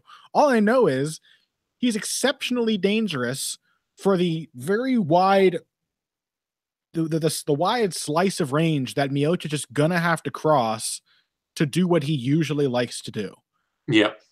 Uh, so I, am going to pick Miocic to get it done and to find his way into takedowns, to make the clinch count in ways that Overeem couldn't, and to not get flustered and out bullied in the way that Overeem can, where it's just like, oh, I'm not losing, I, am being bullied, and now I have to really be desperate because mm-hmm. bullying, my bullying is not working. Like I, I can see how Overeem, you know, he like he went for the clinch, got out muscled in the clinch, and it's just like, well, shit, I got to, I got to start throwing hands now because all of my good game plan is like I am no longer able to be physically dominant. I think Miocic can ride that better, but I don't do it confidently. So I'm, I'm not picking Ngannou confidently either. I just pick him excitedly, and I just yeah. can't wait to find out the answers to all of these many, many questions I have.